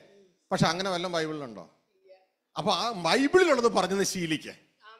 ബൈബിളിൽ ഒന്ന് ഉള്ളത് പറഞ്ഞൊന്ന് ശീലിക്കേ. ഞാൻ ആരാ?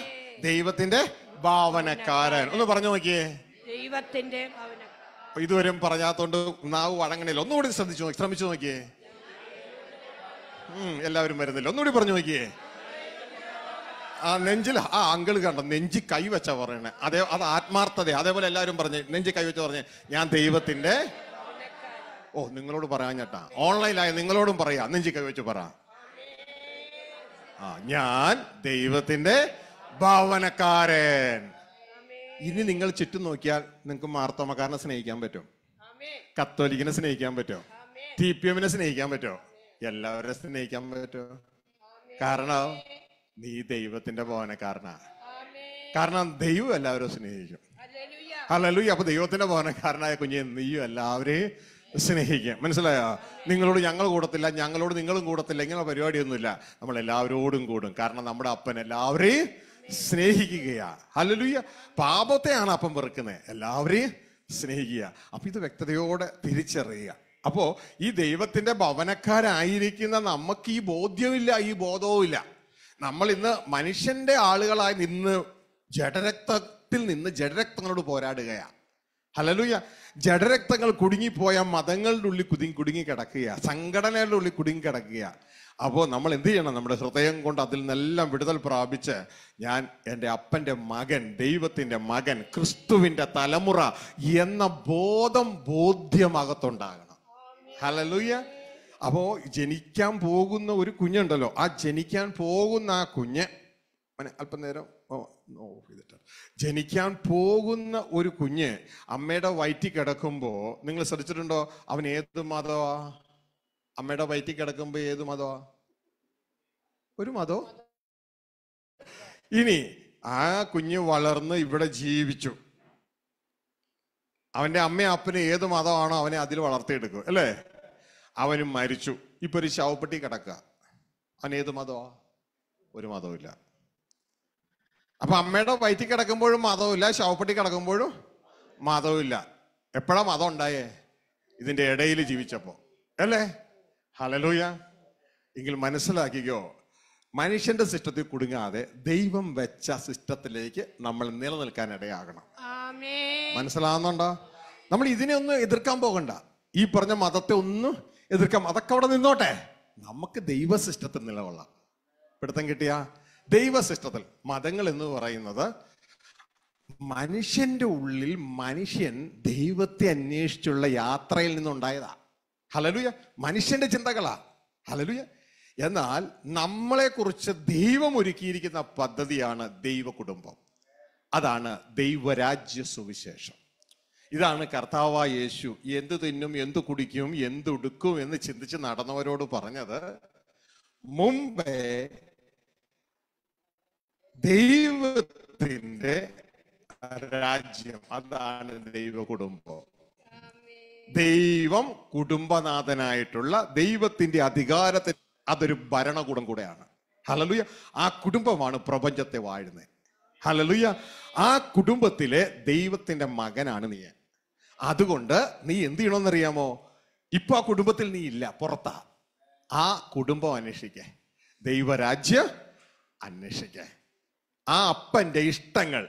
അതാണ് അപ്പന്റെ നീതി അപ്പന്റെ നിയമങ്ങൾ. അത് അന്വേഷിക്കേ അതോടുകൂടെ നീ ഇന്ന് ഇവിടെ അന്വേഷിക്കുന്ന കാര്യങ്ങൾ ശരി ചുരുക്കി പറഞ്ഞ നിന്റെ പ്രാർത്ഥനാ ലിസ്റ്റ്. പ്രാർത്ഥനാ ലിസ്റ്റിൽ എന്തൊക്കെയാ വരുന്നേ? തിന്നാനുള്ളത് കുടിക്കാനുള്ളത് ഉടുക്കാനുള്ളത് ഇങ്ങനെ വരില്ലേ?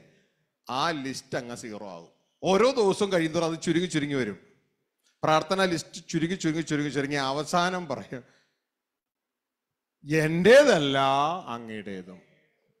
അതുകൊണ്ട് അങ്ങയുടേതെല്ലാം എന്റേതും. മനസ്സിലായോ? അതല്ല പ്രാർത്ഥന ചുരുങ്ങി ചുരുങ്ങി ചുരുങ്ങി വരും. ഹലലുയ നമ്മൾ ഒരു കുടുംബമായി തീരും.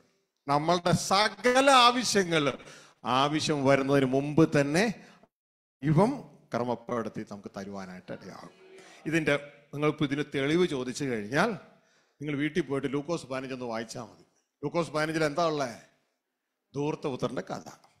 ധൂർത്തപുത്രന്റെ കഥയിൽ നിങ്ങൾ ആരെങ്കിലും സങ്കടപ്പെട്ട് വിഷമിച്ചൊക്കെ ഇരിക്കുന്നവരുണ്ടെങ്കിൽ വളരെ ആവശ്യഭാരത്തോടെ ഇരിക്കുന്നവരുണ്ടെങ്കിൽ മനസ്സിലാക്കിക്കോ ആ ധൂർത്തപുത്രന്റെ കഥ വായിച്ചിട്ട് നിങ്ങൾ എവിടെയാന്ന് നോക്കിയാൽ മതി അതിൽ.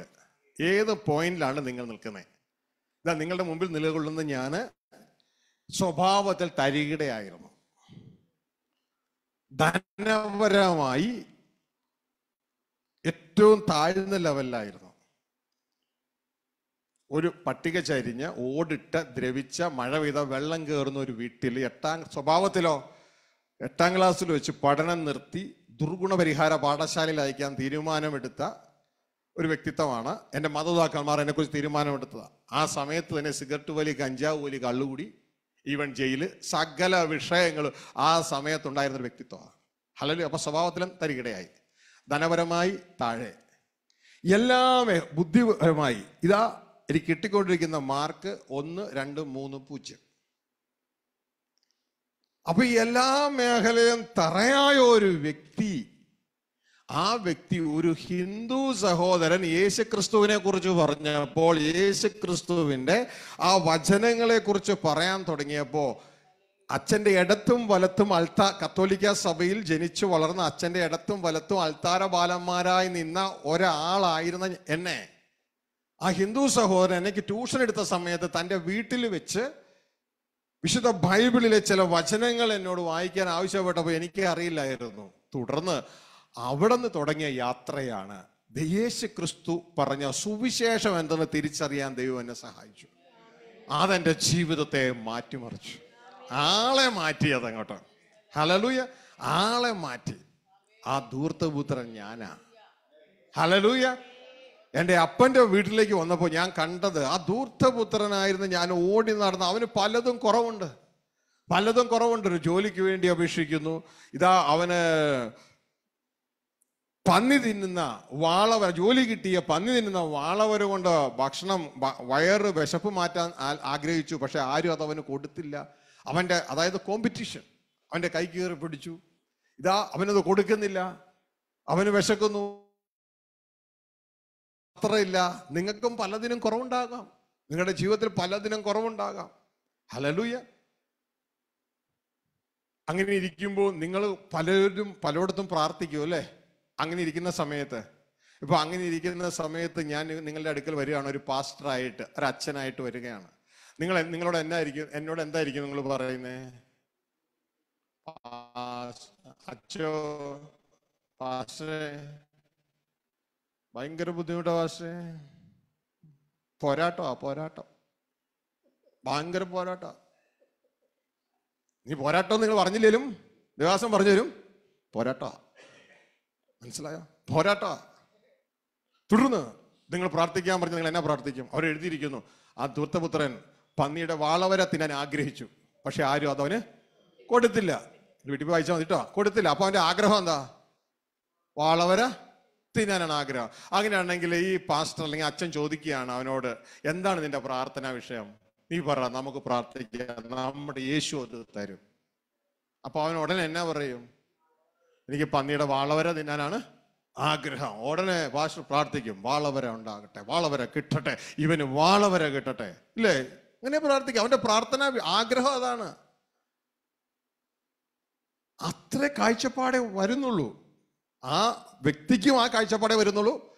പ്രാർത്ഥിക്കുന്ന ദേവദാസിന് ആ കാഴ്ചപ്പാടേ വരുന്നുള്ളൂ. പക്ഷേ യേശുവിന്റെ കാഴ്ചപ്പാട് മൊത്തം വ്യത്യാസമാണ്. യേശു പറയാണ് നിന്റെ മുമ്പിലുള്ള എന്ത് തിന്നും എന്ത് കുടിക്കും എന്ത് ഉടുക്കും അത് നിങ്ങൾക്ക് കിട്ടുന്നില്ല. ഓക്കെ. അപ്പൊ നീ ചെയ്യേണ്ടത് അതിനെക്കുറിച്ച് വ്യാകുലപ്പെടുകയല്ല. നീ മറ്റൊരു കാര്യം അന്വേഷിച്ചാൽ മതി. അതോടുകൂടെ എന്ത് തിന്നും എന്ത് കുടിക്കും എന്തൊടുക്കും നിനക്ക് ചേർത്ത് നൽകപ്പെടും. മനസ്സിലായോ? ഇതാണ് സുവിശേഷത്തിന്റെ ശക്തി. റോമ ഒന്നിന്റെ പതിനാറ് പറയുന്ന കാര്യം സുവിശേഷം ദൈവശക്തിയാ. സുവിശേഷം ദൈവശക്തിയാ. അതാദ്യം യഹൂദനും പിന്നെ യവനനും രക്ഷയ്ക്കായുള്ള ദൈവശക്തി. അതുകൊണ്ട് സുവിശേഷം വെറുതെ പ്രസംഗിച്ച് അവസാനിക്കാനല്ല ഇത് ദൈവശക്തിയാ. കാരണം പ്രപഞ്ചത്തിന്റെ ശക്തി കേന്ദ്രമായ പ്രപഞ്ചത്തിന്റെ സോഴ്സായ സ്വർഗീയ പിതാവുമായി നിന്നെ ഒന്ന് കണക്ട് ചെയ്തെടുക്കുന്ന ആ ഒരു കണക്ഷനാണ് യഥാർത്ഥ സുവിശേഷം. അങ്ങനെ നീ കണക്ട് ചെയ്യപ്പെട്ടാൽ നീ എന്ത് സംഭവിക്കുന്നറിയാമോ ഈ പണ്ട് ഈ തൃശ്ശൂർ പട്ടണം ഈ മേഖലയിൽ ഈ എറണാകുളം പട്ടണം ഇതൊക്കെ വലിയ വലിയ പട്ടണങ്ങളാ. ഇവയൊക്കെ ഇരുട്ടിലായിരുന്നു. എന്നാൽ ഇടുക്കിയിൽ ഒരു പവർ സ്റ്റേഷൻ തുടങ്ങിയപ്പോ ആ പവർ സ്റ്റേഷനുമായി ഒരു കണക്ഷൻ അങ്ങ് ഇട്ടപ്പോ ഇടുക്കിയും എറണാകുളവും എല്ലാം പ്രകാശിക്കാൻ തുടങ്ങിയതുപോലെ ഇതാ പ്രകാശമില്ലാത്ത നമ്മൾ ഇതാ ദൈവവുമായി സുവിശേഷം പ്രപഞ്ചത്തിന്റെ ഉടമസ്ഥനുമായി ക്രിസ്തുവിലൂടെ അങ്ങ് കണക്ട് ചെയ്ത് കഴിയുമ്പോൾ നമ്മൾ അങ്ങ് പ്രകാശിക്കാൻ തുടങ്ങും. നമ്മുടെ ആവശ്യങ്ങളൊക്കെ ആ ഉയരത്തിൽ നിന്ന് സപ്ലൈ ചെയ്യപ്പെടാൻ തുടങ്ങും. ഇതാണ് യേശു ക്രിസ്തു പറഞ്ഞ് മുമ്പേ. നിന്റെ മുമ്പിൽ കാണുന്ന വിഷയങ്ങളിലല്ല നീ അന്വേഷിക്കേണ്ടത്. നിന്റെ മുമ്പിൽ കാണുന്ന വിഷയങ്ങൾ ഒരു പ്രശ്നങ്ങൾ പ്രശ്നം തന്നെയാണ്. പക്ഷെ ആ പ്രശ്നത്തിനൊക്കെ പരിഹാരം അദൃശ്യമായ ദൈവവുമായി നീ കണക്ട് ചെയ്യപ്പെടുക എന്നുള്ളതാണ്. ഹല്ലേലൂയ അദൃശ്യമായി ദൈവവുമായി കണക്ട് ചെയ്യപ്പെടുക എന്നുള്ളതാണ്. ഞാൻ പലപ്പോഴും പലരെയും കുറിച്ച് ചിന്തിക്കാറുണ്ട്. എന്താണ് പ്രയറിന് വരാൻ ഞാൻ മീറ്റിങ്ങിന് വരാൻ ചോദിക്കുമ്പോൾ ജോലി തിരക്കായിരുന്നു. കുറേ കാര്യങ്ങൾ അസൈൻമെന്റ് ഉണ്ടായിരുന്നു. അത് ചെയ്തു തീർക്കാൻ വേണ്ടി ഇരിക്കുമായിരുന്നു ജോലി കൂടുതലായിരുന്നു. ഇതൊക്കെ പറയുന്ന അനേകരെ കാണുവാനായിട്ട് ഇടയാവുന്നു. ഡേ ബൈ ഡേ ഹലലുയ്യ അനേകരെ കാണുവാനായിട്ട് ഇടയാകുന്നു കാരണം ഇപ്പോൾ അവരുടെ മുമ്പിലുള്ള പ്രശ്നം തീർക്കാൻ അവർ ശ്രമിക്കണേ. പ്രശ്നം തീർക്കാൻ അവർ ശ്രമിക്കണേ. എന്നാൽ ഇവിടെ ഇവിടെ മനസ്സിലാക്കേണ്ട കാര്യം ആ പ്രശ്നം തീർക്കാൻ വേണ്ടി അവിടെ നിങ്ങൾ ഓടാതെ ആ സമയത്ത് സകല പ്രശ്നത്തിന്റെയും പരിഹാരകനായ ദൈവത്തിന്റെ അടുക്കിലേക്ക് നിങ്ങൾ മൂവ് ചെയ്യുന്നെങ്കിൽ ഈ ഭാഗങ്ങളൊക്കെ ദൈവം മനോഹരമാക്കി മാറ്റുവാനായിട്ട് ഇടയാകും. അലലൂയ ഇത് നിങ്ങൾ തിരിച്ചറിയണം. ഈ ഒരു കാര്യം നിങ്ങൾ തിരിച്ചറിഞ്ഞ് പ്രവർത്തിക്കുവാനായിട്ട് ഇടയാകണം അലലൂയ നിങ്ങൾ നമ്മൾ ദൈവത്തെ ഹോണർ ചെയ്യുന്നുവെങ്കിൽ ദൈവം നമ്മളെ ഹോണർ ചെയ്യും. ഹലലൂയ ഒരു മകൻ അപ്പനെ സേവിക്കുന്നത് പോലെ വേണം നമ്മൾ നമ്മളുടെ സ്വർഗീയ പിതാവിനെ ക്രിസ്തുവിൽ സേവിപ്പാൻ. ക്രിസ്തു എങ്ങനെ സേവിച്ചു? അതേപോലെ സേവിക്കണം. ഹലലൂയ തിമോത്യോസിനെ കുറിച്ച് പോലീസ് പറയുകയാണ്. അവൻ എങ്ങനെയാണെന്നറിയാമോ? മകൻ അപ്പന് ചെയ്യുന്നത് പോലെ ആ സുവിശേഷഘോഷണത്തിൽ പ്രവർത്തിച്ചത്. കുലിക്കാരൻ പോലെയല്ല. മകൻ അപ്പന് ചെയ്യുന്നത് പോലെ. ഇതേപോലെ ഒരു ബന്ധം നമ്മുടെ സ്വകീയ പിതാവുമായി നമുക്കുണ്ടാകണം. ഹലലൂയ ഞാൻ പലരോടും പറയാറുണ്ട് എന്റെ അപ്പൻ എന്റെ ബലമാ. അപ്പോൾ തന്നെ എന്റെ അപ്പൻ എന്റെ ബലഹീനതയാണ് എന്റെ അപ്പൻ എന്റെ ബലമാ. കാരണം എന്റെ പുറകിൽ നിൽക്കുന്നത് ക്രിസ്തുവിൽ എന്റെ സ്വർഗീയ പിതാവാ. ക്രിസ്തുവിന്റെ പുറകിൽ നിന്നത് സ്വർഗീയ പിതാവാ. അതാ വിട്ടുപിരിഞ്ഞു പോകും. നിങ്ങളെല്ലാം എന്നെ വിട്ടുപിരിഞ്ഞ് താൻ താന്റെ സ്വയത്തിലേക്ക് ഓടിപ്പോകും. ഒരു സമയം ഉണ്ടാകും പ്രിയ മകനെ പ്രിയ മകളെ. നിന്റെ ഏറ്റവും അടുത്ത് നിൽക്കുന്ന വ്യക്തി പോലും നിന്നെ വിട്ട് ഒറ്റയ്ക്കാക്കി അവർ ഓട് അപ്പോഴും ക്രിസ്തു പറയാ നിങ്ങളൊക്കെ എന്നെ വിട്ടുപോയാൽ ഞാൻ ഏകനല്ല. എന്റെ അപ്പൻ എന്റെ സ്വർഗീയ പിതാവ് എന്റെ കൂടെ ഉണ്ട്. ഹല്ലേലൂയ ഇതായിരുന്നു യേശുവിന്റെ ബലം. ഇതാണ് ക്രിസ്തുവിലുള്ള നമ്മുടെയും ബലം. ക്രിസ്തുവിൽ നമ്മുടെ സ്വർഗീയ പിതാവ് നമ്മുടെ കൂടെ ഉണ്ട്. ഹലോ അപ്പോൾ ഈ പിതാവ് നമ്മുടെ ബലഹീനതയുമാ. എങ്ങനെയാണെന്നറിയാമോ? നമ്മൾ എന്തെങ്കിലുമൊക്കെ വാശി പിടിച്ച് എങ്ങനെ ഇങ്ങനെയൊക്കെ നിൽക്കുമ്പോൾ ആ അപ്പം പറയുകയാണ് ഇടമോനെ ഇങ്ങനെയാണ് നമ്മുടെ സ്വയം സീറോ ആയിപ്പോയി ഇനി നമ്മളുടെ ചിന്തയല്ല നമ്മുടെ അപ്പനാ നമ്മളിവിടെ ജീവിക്കുന്നത്. നമ്മളവിടെ തോറ്റു. ഹലലു നമ്മളവിടെ തോറ്റു. ഹലലു അപ്പം പറഞ്ഞാൽ നമ്മൾ ഉരുകിപ്പോവും. നമ്മുടെ ചിന്തകൾ ഉരുകും നമ്മുടെ സ്വയം ഉരുകും.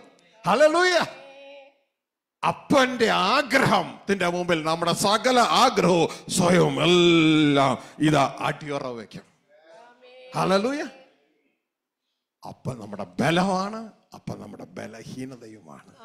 മനസ്സിലാവുന്നുണ്ടോ? ഹലലൂയ ദൈവം നമുക്ക് അനുകൂലമെങ്കിൽ ആർ നമുക്ക് പ്രതികൂലം. ഹലലൂയ ശരീരത്തെ കൊല്ലുവാൻ കഴിയുന്നവരെ ഭയപ്പെടേണ്ട. ശരീരത്തെ മാത്രമല്ല ദേഹിയും കൂടി കൊല്ലാൻ കഴിയുന്ന ദൈവത്തെ ഭയപ്പെട്ടാൽ മതി. ഹലലൂയ ശരീരത്തെ അവർ കൊന്നോട്ടെ. എത്ര ശരീരം വേണമെങ്കിലും നമുക്ക് തരാൻ നമ്മുടെ അപ്പന് പറ്റും. മനസ്സിലാവുന്നുണ്ടോ? അതുകൊണ്ട് എപ്പോഴും അപ്പനോട് കൂടെ നിൽക്കുക. നിങ്ങൾ അനുഗ്രഹീതരായിരിക്കുക. അപ്പൊ നമ്മുടെ ലക്ഷ്യത്തിലേക്ക് യാത്രയാവുക. നിലത്തിട്ട് ചവിട്ടുന്ന തലത്തിലേക്ക് നാം ഒതുങ്ങരുത് അവസാനിക്കരുത് എന്ന് പ്രത്യേകം ഓർപ്പിക്കുകയാണ്. നിലത്ത് നിലത്തിട്ട് ചവിട്ടുന്ന തലം. ഹലലൂയ നിങ്ങൾക്ക് ഓർമ്മയുണ്ടല്ലോ അല്ലെ? നിലത്തിട്ട് ചവിട്ടുക. മോനെ പ്രൊജക്ടർ ഓൺ ചെയ്തു മോനെ പ്രൊജക്ടർ ഓൺ റിമോട്ടിങ് തന്നാൽ മതി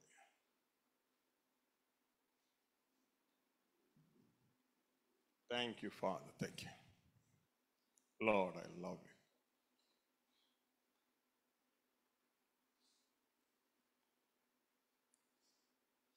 Lord, I love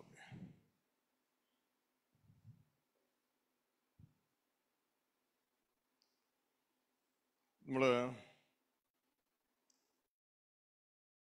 കാണാൻ പോകുമ്പോൾ നിങ്ങളുടെ കാഴ്ചപ്പാട് വ്യത്യസ്തമായിരിക്കും. അല്ലേ? ഇത്ര നാൾ സമത്തേരി പോയപ്പോൾ ഇങ്ങനെ ഒരു ചിന്തയില്ലായിരുന്നു. നിലത്തിട്ട് ചവിട്ടുകയാണെന്ന്. ഇനി നിങ്ങൾ മനസ്സിലാക്കുക നിലത്തിട്ട് ചവിട്ടുന്ന കൂട്ടത്തിൽ എല്ലാവരുമായി പക്ഷേ യേശു കർത്താവിനെ നിലത്തിട്ട് ചവിട്ടുന്ന കൂട്ടത്തിൽ നിന്ന് ഇതാ സ്വർഗത്തിലെ ദൈവം ഉയർത്തെഴുന്നേൽപ്പിക്കുക ഹലലുയ ആ ക്രിസ്തു ആരാന്നറിയോ നിങ്ങൾക്ക്? ആദ്യ ഫലം ആദ്യ ഫലം പുറകെ നമ്മളും ആയിത്തീരണം. മനസ്സിലായോ? നമ്മളുമായി തീരണം ഹലലുയ നമ്മൾ ഏത് കാറ്റഗറിയാണെന്നറിയോ നമ്മൾ ഏത് കാറ്റഗറിയാണെന്നറിയോ ഭൂമിയിൽ ജനിച്ച നമ്മൾ. പൂച്ച. പിന്നെ നമ്മൾ ഏത് കാറ്റഗറിയാ? കാക്ക. മനുഷ്യൻ. അല്ലേ? മനുഷ്യന്റെ കാറ്റഗറിയാ. വീണുപോയ മനുഷ്യൻ ഇപ്പോ. ആദത്തിന്റെ കാറ്റഗറി. ദൈവത്തിന്റെ വചനം പറയുന്നു ആദം സ്വന്തം സാദൃശ്യത്തിൽ ലോത്തിനെ ജനിപ്പിച്ചു. അല്ലേ അപ്പൊ ആദം ജനിപ്പിച്ച മക്കളൊക്കെ ആരുടെ സാദൃശ്യ ആ വീണുപോയ മനുഷ്യൻ അല്ലേ വീണുപോയ മനുഷ്യൻ സാദൃശ്യ ക്രിസ്തു ഏത് കാറ്റഗറിയാ? ഏത് കാറ്റഗറിയാ? ദൈവത്തിന്റെ കാറ്റഗറി. മനസ്സിലാവുന്നുണ്ടോ? ദൈവത്തിന്റെ കാറ്റഗറി. കാരണം ക്രിസ്തുവിന്റെ പേര് ദൈവപുത്രൻ. ഇതാണ് സ്വർഗീയ പിതാവ് പറയുന്നത് ഇവൻ എന്റെ പ്രിയ പുത്രൻ. മനസ്സിലാകണ്ട പിതൃത്വം കൊടുത്ത അപ്പം പറയാണ് ഇവൻ എന്റെ പ്രിയ പുത്രൻ. നമ്മളെ ഏത് കാറ്റഗറിയാകും വിളിച്ചെന്നറിയാമോ? വീണുപോയ മനുഷ്യനിൽ നിന്ന് മരണത്തെ ജയിച്ചുയർത്തെഴുന്നേറ്റ ദൈവപുത്രനായ ക്രിസ്തുവിന്റെ കാറ്റഗറിയിലേക്ക് നമ്മളെ വിളിച്ചിരിക്കുകയാണ്. മനസ്സിലാവുന്നുണ്ടോ? ഇതാണ് ദൈവവചനം പറയുന്നത്. ഫസ്റ്റ് കോറിഞ്ചൻ പതി ഒന്നിൻ പതിനഞ്ചിന്റെ ഇരുപത്തിരണ്ടിൽ പറയുകയാണ് ആദത്തിൽ എല്ലാവരും മരിച്ചു പോകും അവരെ നിലത്തിട്ട് ചവിട്ടും. എന്നാൽ ക്രിസ്തുവിൽ എല്ലാവരും ജീവിപ്പിക്കപ്പെടും. രണ്ട് കാറ്റഗറിയാണ്. വീണുപോയ മനുഷ്യന്റെ കാറ്റഗറി നിത്യം ജീവിക്കുന്ന ദൈവപുത്രന്റെ കാറ്റഗറി. ഒന്ന് മനുഷ്യന്റെ കാറ്റഗറി മറ്റൊന്ന് ദൈവത്തിന്റെ കാറ്റഗറി. വായിക്കാൻ ഒന്ന് കൊറിയന്തർ പതിനഞ്ചിന്റെ ഇരുപത്തിരണ്ട്. ആദാമിൽ എല്ലാവരും മരി ജീവിക്കപ്പെടും.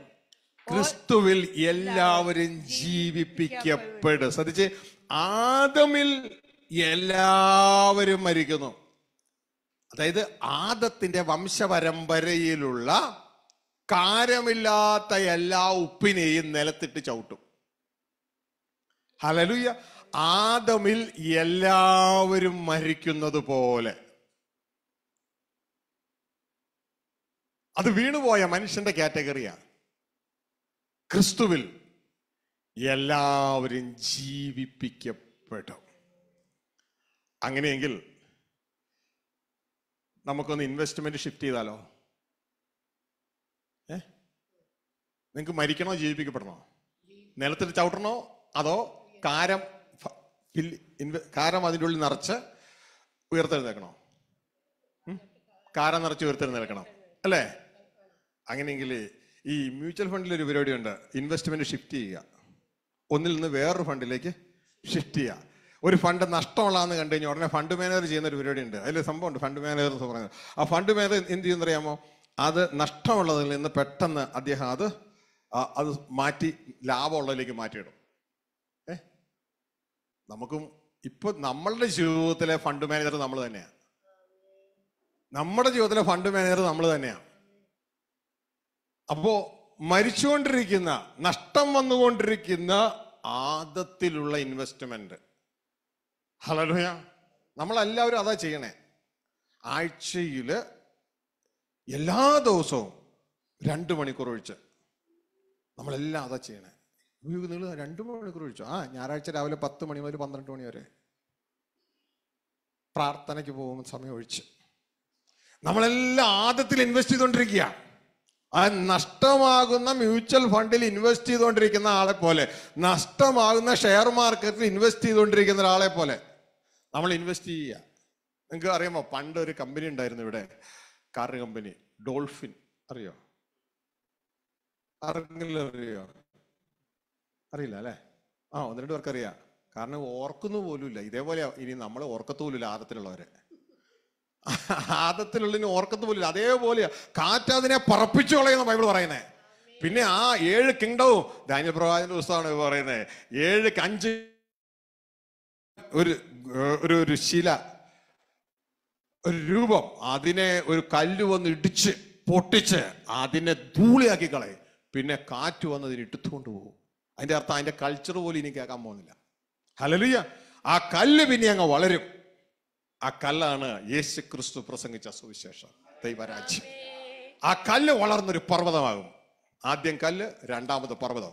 വീണ്ടും പർവതം വളർന്ന് ഭൂമി മുഴുവൻ നിറയും. അതാണ് ദൈവരാജ്യം. ഹലലുയ ദൈവത്തിന്റെ ഭരണം വരാൻ പോവുക ഇതേ രീതിയിൽ. ഹലലുയ അപ്പോ ഇത് മനസ്സിലാക്കിയാൽ നമ്മുടെ ഇൻവെസ്റ്റ്മെന്റ് ഒന്ന് ഷിഫ്റ്റ് ചെയ്താലോ? എത്ര ഫാസ്റ്റ് ആയിട്ടാ വളരാൻ പോണെന്നറിയാമോ എത്ര ഫാസ്റ്റ് ആയിട്ടാ വളരാൻ പോണെന്നറിയാമോ ഇത് തളരും. ലോകം അതിന്റെ മോഹം ഒഴിഞ്ഞു പോകും. ഇത് തളരും. എന്നാൽ ഈ ദൈവരാജ്യത്തിലെ ഇൻവെസ്റ്റ്മെന്റ് അതങ്ങ് കയറി വളരും ഹല്ലേലൂയ അതൊരു സ്ത്രീയെ എടുത്ത് മൂന്ന് പറമാവിൽ അത് ഒളിച്ചു വെച്ച പുളിപ്പ് പോലെയാണ്. രാത്രി കിടക്കുന്നതിന് മുമ്പ് ചാച്ചാ ഞാൻ ദേ വരുന്നേ. ഇങ്ങോട്ട് വാടി. ഇവിടെ വിളിച്ചിരി ഈസ്റ്റ് ഇടാൻ പോയതാ. ഈസ്റ്റ് ഇട്ടിട്ട് ദാ വന്നു കിടന്നു. നേരം വെളുത്തപ്പോ മാവ് മൊത്തം പുളിപ്പായി. ഇതേപോലെ ദൈവരാജ്യം. ഈ ദൈവരാജ്യ സുവിശേഷം കുഞ്ഞെ നിന്റെ ഹൃദയത്തിന്റെ ഉള്ളിലേക്ക് ഒന്ന് വന്ന് വീണാൽ ഇതിന്റെ പ്രോഫിറ്റ് നീ ഇന്ന് കാണുമ്പോ ഇത് അറിയ നീ അറിയാതെ ഇതങ്ങ് വളരാൻ തുടങ്ങും ഇതിന്റെ ഉള്ളിൽ. നീ നടക്കുമ്പോഴൊക്കെ നീ ചിന്തിക്കാൻ തുടങ്ങുമ്പോൾ ഇത് നിന്റെ ഉള്ളിൽ അങ്ങ് കയറി അങ്ങ് വളരും. ഹലോ ഇത് നിന്നെ അങ്ങ് കയറി അങ്ങ് പിടിക്കും. ഹലോ എന്റെ വിഷയം ഇത് തന്നെയായിരുന്നു കേട്ടോ ഞാൻ ഈ ലോകപ്രകാരം പതിനാറ് മണിക്കൂർ പതിനാറ് മണിക്കൂർ ജോലി ചെയ്യുന്ന ഒരു തൊഴിലാളിയായിരുന്നു. അപ്പൊ തന്നെ ഒരു ബിസിനസ്സുകാരനായിരുന്നു. ഹലലൂയ എന്നാൽ ഈ ഒരു ഇൻവെസ്റ്റ്മെന്റ് തിരിച്ചറിയാൻ തുടങ്ങിയപ്പോ എന്റെ ജീവിതത്തിൽ ദൈവരാജ്യം എന്ന ആ പുളിപ്പ് അങ്ങ് കീറി അങ്ങ് വളരാൻ തുടങ്ങി. വളരാൻ തുടങ്ങി. എന്റെ അകത്തുള്ള ലോകത്തെ അങ്ങ് കീഴടക്കാൻ തുടങ്ങി. ലോകത്തെ കീഴടക്കിയപ്പോൾ എന്റെ ടൈമിന്റെ ഇൻവെസ്റ്റ്മെന്റ് ഞാൻ ലോകത്തിലെ കറൻസി കിട്ടുന്നതിൽ നിന്നും പയ്യെ മാറ്റി മാറ്റി മാറ്റി ഇത് ആ പുളിപ്പ് വളരുന്നത് പോലെ എന്റെ ടൈം ദൈവരാജ്യത്തിലേക്ക് ഇൻവെസ്റ്റ് ചെയ്യാൻ തുടങ്ങി. മനസ്സിലാവുന്നുണ്ടോ? കാരണം ഓരോ നിമിഷവും നമ്മൾ എന്താക്കി മാറ്റണോ? തേജസ്സാക്കി മാറ്റണം ജീവനാക്കി മാറ്റണം. ലോകത്തിൽ നമ്മൾ എന്താ ചെയ്തുകൊണ്ടിരിക്കണേ? ദൈവം തന്ന സമയം വേറൊരാൾക്ക് വിൽക്കും. അങ്ങനെ വിൽക്കുന്നതിന്റെ പേരാണ് ചോദിക്കണേ. ദൈവം തന്ന സമയം വിൽക്കാനുണ്ടേ. വിൽക്കാനുണ്ടേ. എന്തിനാ ഈ വയറ് നിറയ്ക്കാൻ? ഒരു ജോലി തരുവോ? കണ്ടോ? തൂർത്തപുത്രൻ അന്വേഷിച്ച് നടന്നില്ലേ? അപ്പൊ അവസാനം കൃപയാൽ അവനൊരു ജോലി കിട്ടിയില്ലേ? ഇല്ലേ? അടുത്ത ആഴ്ച എന്തായിരിക്കും സാക്ഷ്യം? ദൂർത്തപുത്രന്റെ പള്ളി പോവുകയാണെങ്കിൽ. കൃപയാൽ കൃപയാൽ നിങ്ങളുടെ എല്ലാവരുടെയും പ്രാർത്ഥനയാൽ എനിക്ക് പന്നികളെ വയ്ക്കുന്നൊരു ജോലി കിട്ടി. മനസ്സിലാവുന്നുണ്ടോ? നമുക്കത് ഭയങ്കര അഭിമാനമാണ്. പക്ഷെ വചനപ്രകാരം ചിന്തിച്ചു വരുമ്പോൾ യഥാർത്ഥത്തിൽ ദൈവം തന്ന സമയം വിറ്റ് വല്ലവർക്കും വിറ്റ് നമ്മൾ വയറ് നിറച്ച് വയറ് നിറച്ച് വയറ് നിറയ്ക്കുന്നതുകൊണ്ട് ശരീരം വലുതാവും. അല്ലേ? ഇല്ലേ? ഓ രണ്ട് കിലോ ഉള്ള അല്ലെങ്കിൽ മൂന്ന് കിലോ ഉള്ള കുഞ്ഞ് പുറത്തേക്ക് വന്നു. അതെന്തുകൊണ്ടാണ് ശരീരം വലുതാകുന്നേ? വയറ് നിറയ്ക്കുന്നതുകൊണ്ടല്ലേ? വയറ് നിറച്ച് നിറച്ച് അത് വലുതായി അമ്പത് കിലോ അറുപത് കിലോ എഴുപത് കിലോ ഒക്കെ ആയിട്ട് പിന്നെ ആ ശരീരം എന്ത് ചെയ്യും? സമയമാ. ഇല്ലേ പാട്ടൊക്കെ പാടി ആളുകൾ ഉണ്ട് ചമത്തേരി കൊണ്ട് വെക്കും. എന്തിനാണ്? ചവിട്ടാൻ. ഇല്ലേ? ഈ ജീവിതം കൊണ്ട് വല്ല പ്രയോജനം ഉണ്ടായ ഒരു പ്രയോജനം ഇല്ലായിരുന്നു. അപ്പോ ഇതുകൊണ്ടാ കർത്താവ് യേശു പറഞ്ഞത് ഇങ്ങനെ. ഫ്ലഷ് പ്രോഫിറ്റ് നത്തിങ് യോഹനൻ ആറിന്റെ അറുപത്തി മൂന്നിൽ കർത്താവ് പറയാണ് ഫ്ലഷ് ജഡത്തിൽ ലാഭം ഒന്നും ഇല്ല. അപ്പൊ നമ്മൾ ചിന്തിക്കും അപ്പൊ പിന്നെ നമ്മൾ എന്ത് ഈ ഒരു ഈ ഒരു പരിപാടി ചെയ്യണേ. മക്കളെ ഇതൊരു ശാപത്തിന്റെ ഫലമാ. ഇതൊരു ശാപത്തിന്റെ ഫലമായിട്ട് നമ്മൾ കുടുങ്ങിപ്പോയതാ. വായിച്ചേ യോഹന ആറ് അറുപത്തി മൂന്ന് ജീവിപ്പിക്കുന്നത് ആത്മാവാകുന്നു. മാംസം ഒന്നിനും ഉപകരിക്കുന്നില്ല. അവിടെ പറയുന്ന ഒരു കാര്യം. ജീവിപ്പിക്കുന്നത് ആത്മാവാകുന്നു. ഞാൻ ഇംഗ്ലീഷിൽ കൊണ്ടുവരാം സ്ക്രീനിൽ. അപ്പോൾ കുറച്ചുകൂടി ക്ലിയർ ആകും മലയാളം ട്രാൻസ്ലേഷൻ അത്ര പോരാ. കേട്ടോ? ഇവിടെ എഴുതിയിരിക്കുകയാണ്. ഇതാ ജീവിപ്പിക്കുന്നത് ആത്മാവാകുന്നു. മാംസം ഒന്നിനും ഉപകരിക്കുന്നില്ല. തെറ്റായ ട്രാൻസ്ലേഷൻ ആണ്. ഇപ്പൊ മാംസത്തിൽ നിന്നാണ് ഞാൻ സംസാരിക്കുന്നത്. ഉപകരിക്കുന്നുണ്ട്. അല്ലേ? പക്ഷെ ഇവിടെ പറയുന്നത് അങ്ങനെയല്ല മാംസത്തിൽ ലാഭമില്ലെന്നാണ് പറയുന്നത്. മാംസത്തിന്റെ ഭാഗത്ത് മെയിന്റനൻസേ ഉള്ളൂ ലാഭം ഇല്ല. മെയിന്റനൻസ് നമ്മൾ ഇതിനെ സൂക്ഷിച്ച് ഉപയോഗിക്കണം. മെയിന്റനൻസ് ഉണ്ട് അതുകൊണ്ടാണ് നമ്മൾ വീടൊക്കെ പണിയുമ്പോൾ ഓരോ ആൾ ചോദിക്കാറില്ലേ മെയിന്റനൻസ് അറ്റാച്ച് ബാത്ത് അറ്റാച്ച്ഡ് അല്ലേ എന്ന് അല്ലേ ഇടയ്ക്കിടയ്ക്ക് പോവില്ലേ എന്തിനാ? ഞാൻ ഫ്രഷായി വരട്ടെ എന്ന് പറഞ്ഞ് പോകത്തില്ലേ? എന്തിനാ? ഈ ശരീരം മെയിന്റനൻസ് വേണം. ഇച്ചിരി നേരം ഫ്രഷ് ആയില്ലെങ്കിൽ നാറും. മനസ്സിലായോ?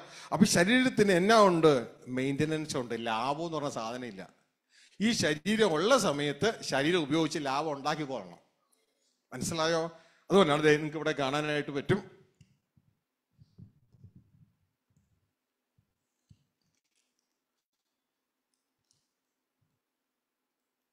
ലോഡ് ഐ ലവ് ഇതാ സ്ക്രീനിൽ it is the spirit that giveth life ആത്മാവാണ് ജീവനെ തരുന്നത്. The flesh profit nothing hallelujah flesh ജഡത്തിന് profit വട്ടപൂജ്യം നമ്മൾ നമ്മുടെ ഇൻവെസ്റ്റ്മെന്റ് ഫ്ലഷിലാ ചെയ്യുന്നത് ആദത്തിലുള്ള നമ്മുടെ എല്ലാ ഇൻവെസ്റ്റ്മെന്റും ഫ്ലഷിലാണ് ജഡത്തില. അതിന് ലാഭമില്ല അതിന് മെയിന്റനൻസേ ഉള്ളൂ. എന്നാൽ സ്പിരിറ്റ് ഗീവ്സ് ലൈഫ് ആത്മാവാണ് ജീവനെ തരുന്നത്. അകത്ത് നമ്മുടെ അകത്തലത്തിലുള്ള ആ ജീവിതമുണ്ട്. നിങ്ങൾക്ക് പെട്ടെന്ന് ആത്മാവെന്ന് പറഞ്ഞാൽ മനസ്സിലാകത്തില്ല.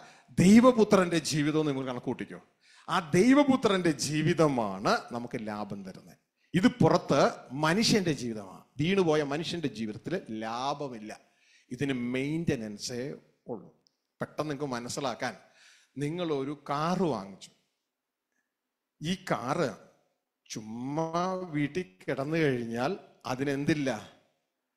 അതുകൊണ്ട് കാര്യമില്ല. എങ്കിലും മെയിന്റനൻസ് ഉണ്ടാകും. അല്ലേ? പകരം നിങ്ങൾ അത് ഉപയോഗിച്ച് ടാക്സി ഓടി നിങ്ങൾ ലാഭം ഉണ്ടാക്കുക. അപ്പൊ ലാഭമില്ലേ? ആർക്കാ ലാഭം? കാറിനാണോ? അത് ഓടിക്കുന്നത് നിങ്ങൾക്കാണോ? ഓടിക്കുന്ന നിങ്ങൾക്കല്ലേ ലാഭം? കാറിന് വല്ല ലാഭം ഉണ്ടോ? പിന്നെ എന്തേ ഉള്ളൂ?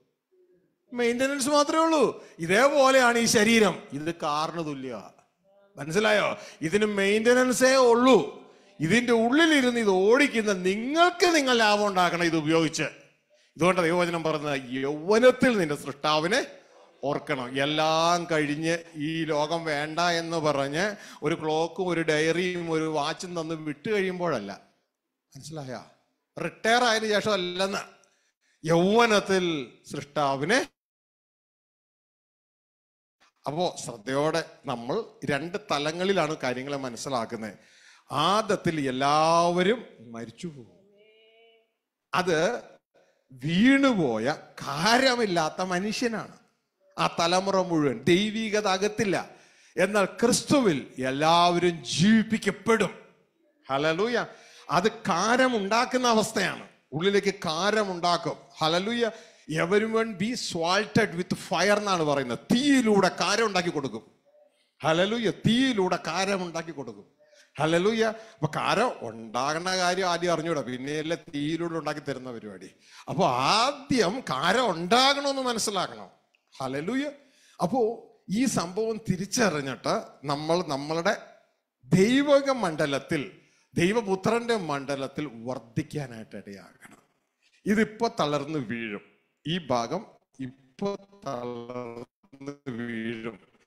അപ്പൊ ഇതിലേക്കല്ല നമ്മളുടെ ഫോക്കസ് വരേണ്ടത്. നമ്മുടെ ലക്ഷ്യത്തിലേക്ക് നമ്മൾ യാത്രയാകണം മാർഗമാകണം. നമ്മൾ എപ്പോഴും അന്വേഷിക്കുന്നത് ജഡത്തിലെ കാര്യങ്ങളാണ്. ഹലലൂയ അപ്പൊ ജഡത്തിലെ കാര്യങ്ങൾ അന്വേഷിക്കുമ്പോൾ നമ്മൾ തിരിച്ചറിയേണ്ട ഒരു കാര്യം എന്ന് പറയുന്നത് നേരത്തെ നമ്മൾ വായിച്ച ഒരു വാക്ക് വാക്ക് വാക്യം ഉണ്ടല്ലോ? ആ വാക്യം ഫസ്റ്റ് കുറഞ്ഞ പതിനഞ്ചിന്റെ ഇരുപത്തിരണ്ട്. അതിന്റെ താഴെ ഇരുപത് ഇരുപത്തിരണ്ട് കഴിഞ്ഞിട്ട് ഇരുപത്തി മൂന്ന് കൂടി വായിച്ചേ.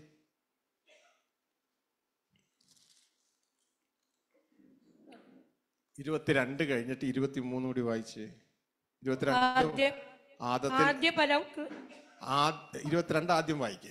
ആദാമിൽ എല്ലാവരും മരിക്കുന്നത് പോലെ ക്രിസ്തുവിൽ എല്ലാവരും ജീവിപ്പിക്കപ്പെടും. ആ ആദമിൽ എല്ലാവരും മരിക്കുന്നത് പോലെ ക്രിസ്തുവിൽ എല്ലാവരും ജീവിപ്പിക്കപ്പെടും. ജീവിപ്പിക്കപ്പെടും. ഹലലൂയ ഇനി ക്രിസ്തു ആദമിൽ എല്ലാവരും മരിച്ചു പോവും ക്രിസ്തുവിൽ എല്ലാവരും ജീവിപ്പിക്കപ്പെടും. ഹലലൂയ ഇനി അടുത്ത വാക്യം പറയാണ് ഓരോരുത്തനും താൻ താന്റെ നിരയിലത്രേ.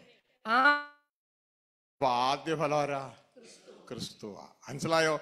മരിച്ചിട്ട് ജീവിപ്പിക്കപ്പെട്ടതിൽ ആദ്യ ഫലം ക്രിസ്തുവാ. കാരണം എന്താ അവിടെ കിടക്കാൻ പറ്റാഞ്ഞേ? അകത്ത് കാരമുണ്ട്. മനസ്സിലായോ? അകത്ത് കാരമുണ്ട്. ദൈവത്തിന്റെ ആത്മാവ് അകത്തുണ്ട്. ആ സ്വർഗീയത അകത്തുണ്ട്. ജീവിപ്പിക്കപ്പെട്ടു. ഇനി ആ ക്രിസ്തുവിനുള്ളവർ അവന്റെ വരവെങ്കിൽ. ഹലലുയ അപ്പോ ആ ഒരു കാറ്റഗറിയായി നമ്മൾ മാറണം. മതക്കാരായി മാറിയതുകൊണ്ട് കയറില്ല ആ നമ്മുടെ അകത്തെ സ്വർഗീയത ഉണ്ടാകണം. ഇതാണ് പ്രാധാന്യം. മത്തായി ഏഴ് ഇരുപത്തൊന്ന് ഇരുപത്തിരണ്ട് ഇരുപത്തി മൂന്നിൽ കുറേ ക്രിസ്തു മതക്കാരെ കാണാം. കാരണം ക്രിസ്തു ആരെയും കയറ്റിയില്ല അതിൽ ദൈവദാസന്മാരുണ്ടായിരുന്നു ഇവാഞ്ചലിസ്റ്റ് ഉണ്ടായിരുന്നു ഹീലിംഗ് മിനിസ്ട്രി നടത്തുന്നവരുണ്ടായിരുന്നു പ്രോഫറ്റ്സ് ഉണ്ടായിരുന്നു. നിങ്ങൾ നോക്കിയാൽ മതി സാധാ വിശ്വാസികൾ ഉണ്ടായിരുന്നു ഒരെണ്ണവും അകത്ത് കയറിയില്ല.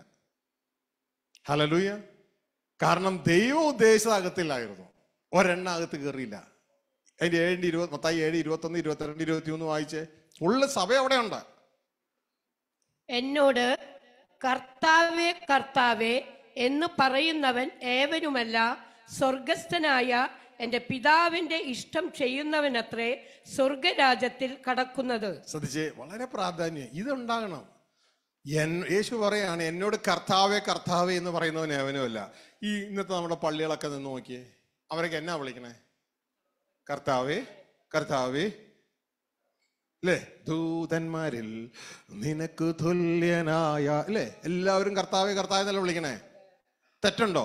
ഒരു തെറ്റുമില്ല നല്ല കാര്യമാ പക്ഷെ അവരൊന്നും സ്വർഗരായത്തിൽ കയറണമെങ്കിൽ എന്റെ പിതാവിന് ഇഷ്ടം. എന്താ പിതാവിന് ഇഷ്ടം എന്നറിയോ നമ്മൾ ഓരോരുത്തരും ക്രിസ്തുവിനെ പോലെയുള്ള ശരിക്കും പറഞ്ഞാൽ കാരമുള്ള ദൈവപുത്രന്മാരായി വെളിപ്പെടണം. ദൈവപുത്രന്മാരായി വെളിപ്പെടണം. മതക്കാരായ പോരാ ദൈവപുത്രന്മാരായി. എങ്ങനെ അറിയാം നമ്മൾ ആ ദൈവപുത്രന്മാരായി വെളിപ്പെടുന്നുണ്ടോ ഇല്ലേന്ന്? വെള്ളയുടുപ്പും കറുത്ത പാന്റും വിളച്ചൊരുതാൻ മീശ പഠിക്കണം കാണുമ്പോൾ കുനിഞ്ഞിട്ട് പ്രൈസലോട്ട് ബ്രദർ എന്ന് പറയണം. അങ്ങനെ അങ്ങനെ അറിയാൻ പറ്റും? ആരെങ്കിലുമൊക്കെ മരിച്ചു കഴിഞ്ഞാൽ ഓടി ചെന്നിട്ട് കൂടെ അങ്ങ് നിൽക്കണം. ഞാൻ എല്ലായിടത്തും ഉണ്ട് കേട്ടോ എന്ന് മറ്റുള്ളവരുടെ ഹൃദയത്തിൽ വരുത്തി തീർക്കണം. അങ്ങനെയൊക്കെയാണോ?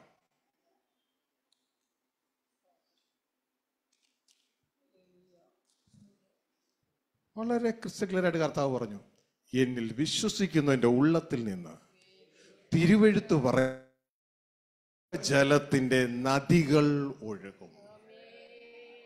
ഒരുത്തനും കബളിപ്പിക്കാൻ പറ്റൂല.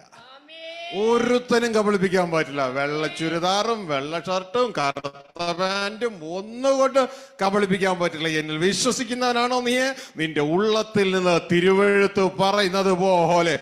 കാരം പുറത്തേക്ക് വരിക ദൈവിക ജീവൻ വെളിയിലേക്ക് ഇറങ്ങുക അത് കാണുമ്പോ അത് അടുത്തിരിക്കുന്നവൻ ജീവൻ അർഹതയുള്ളവനാണ് അർഹതയുള്ളവളാണെങ്കിൽ നിന്റെ അകത്തുനിന്ന് പുറപ്പെടുന്ന ജീവൻ അടുത്തിരിക്കുന്നവനെ സ്പർശിച്ച് അവന്റെ ഉള്ളിൽ ആത്മാവിന്റെ ജീവൻ അവരിൽ സ്പർശിക്കാനിടയാകും. അവരിൽ ദൈവിക ജീവനാൽ അവരിൽ നിറയാനിടയാകും. ഈ ദൈവിക ജീവൻ ഈ ശബ്ദ കാഴ്ച കാഴ്ചപരിധിയുള്ള ഏവരിലേക്ക് ഇപ്പോൾ പ്രവഹിക്കട്ടെ. നിന്റെ ഉള്ളിൽ ജീവൻ തള്ളി വരട്ടെ ഉന്നതത്തിലെ എന്റെ അപ്പന്റെ ആത്മാവ് നിനക്ക് ജീവൻ തരട്ടെ. തളർന്നിരിക്കുന്ന നീ എഴുന്നേൽക്കട്ടെ. രോഗിയെ നീ സൗഖ്യം പ്രാപിക്കട്ടെ. ഭൂതഗ്രസ്തൻ സ്വാതന്ത്ര്യം പ്രാപിക്കട്ടെ. യേശുവിന്റെ നാമത്തിൽ.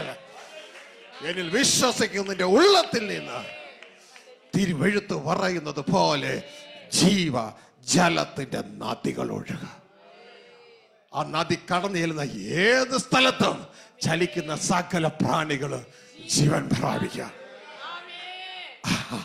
അതാ നദിയുടെ പ്രത്യേകതയാ. നദിയുടെ ഉടമസ്ഥന്റെ പ്രത്യേകതയാ. ആ നദിയുടെ ഉടമസ്ഥൻ സ്വർഗസ്ഥ പിതാവ. ആ നദിയുടെ ഉടമസ്ഥൻ സ്വർഗസ്ഥ പിതാവ.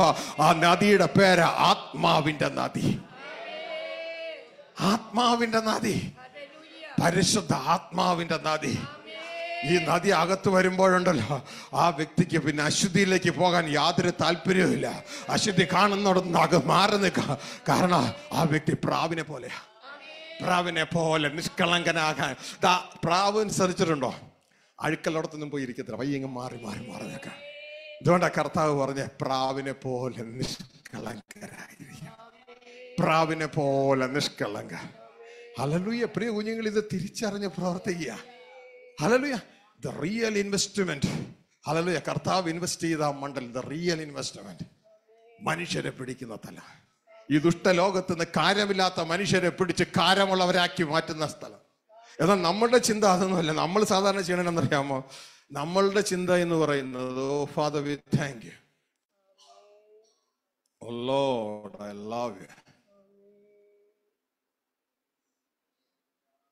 Jesus I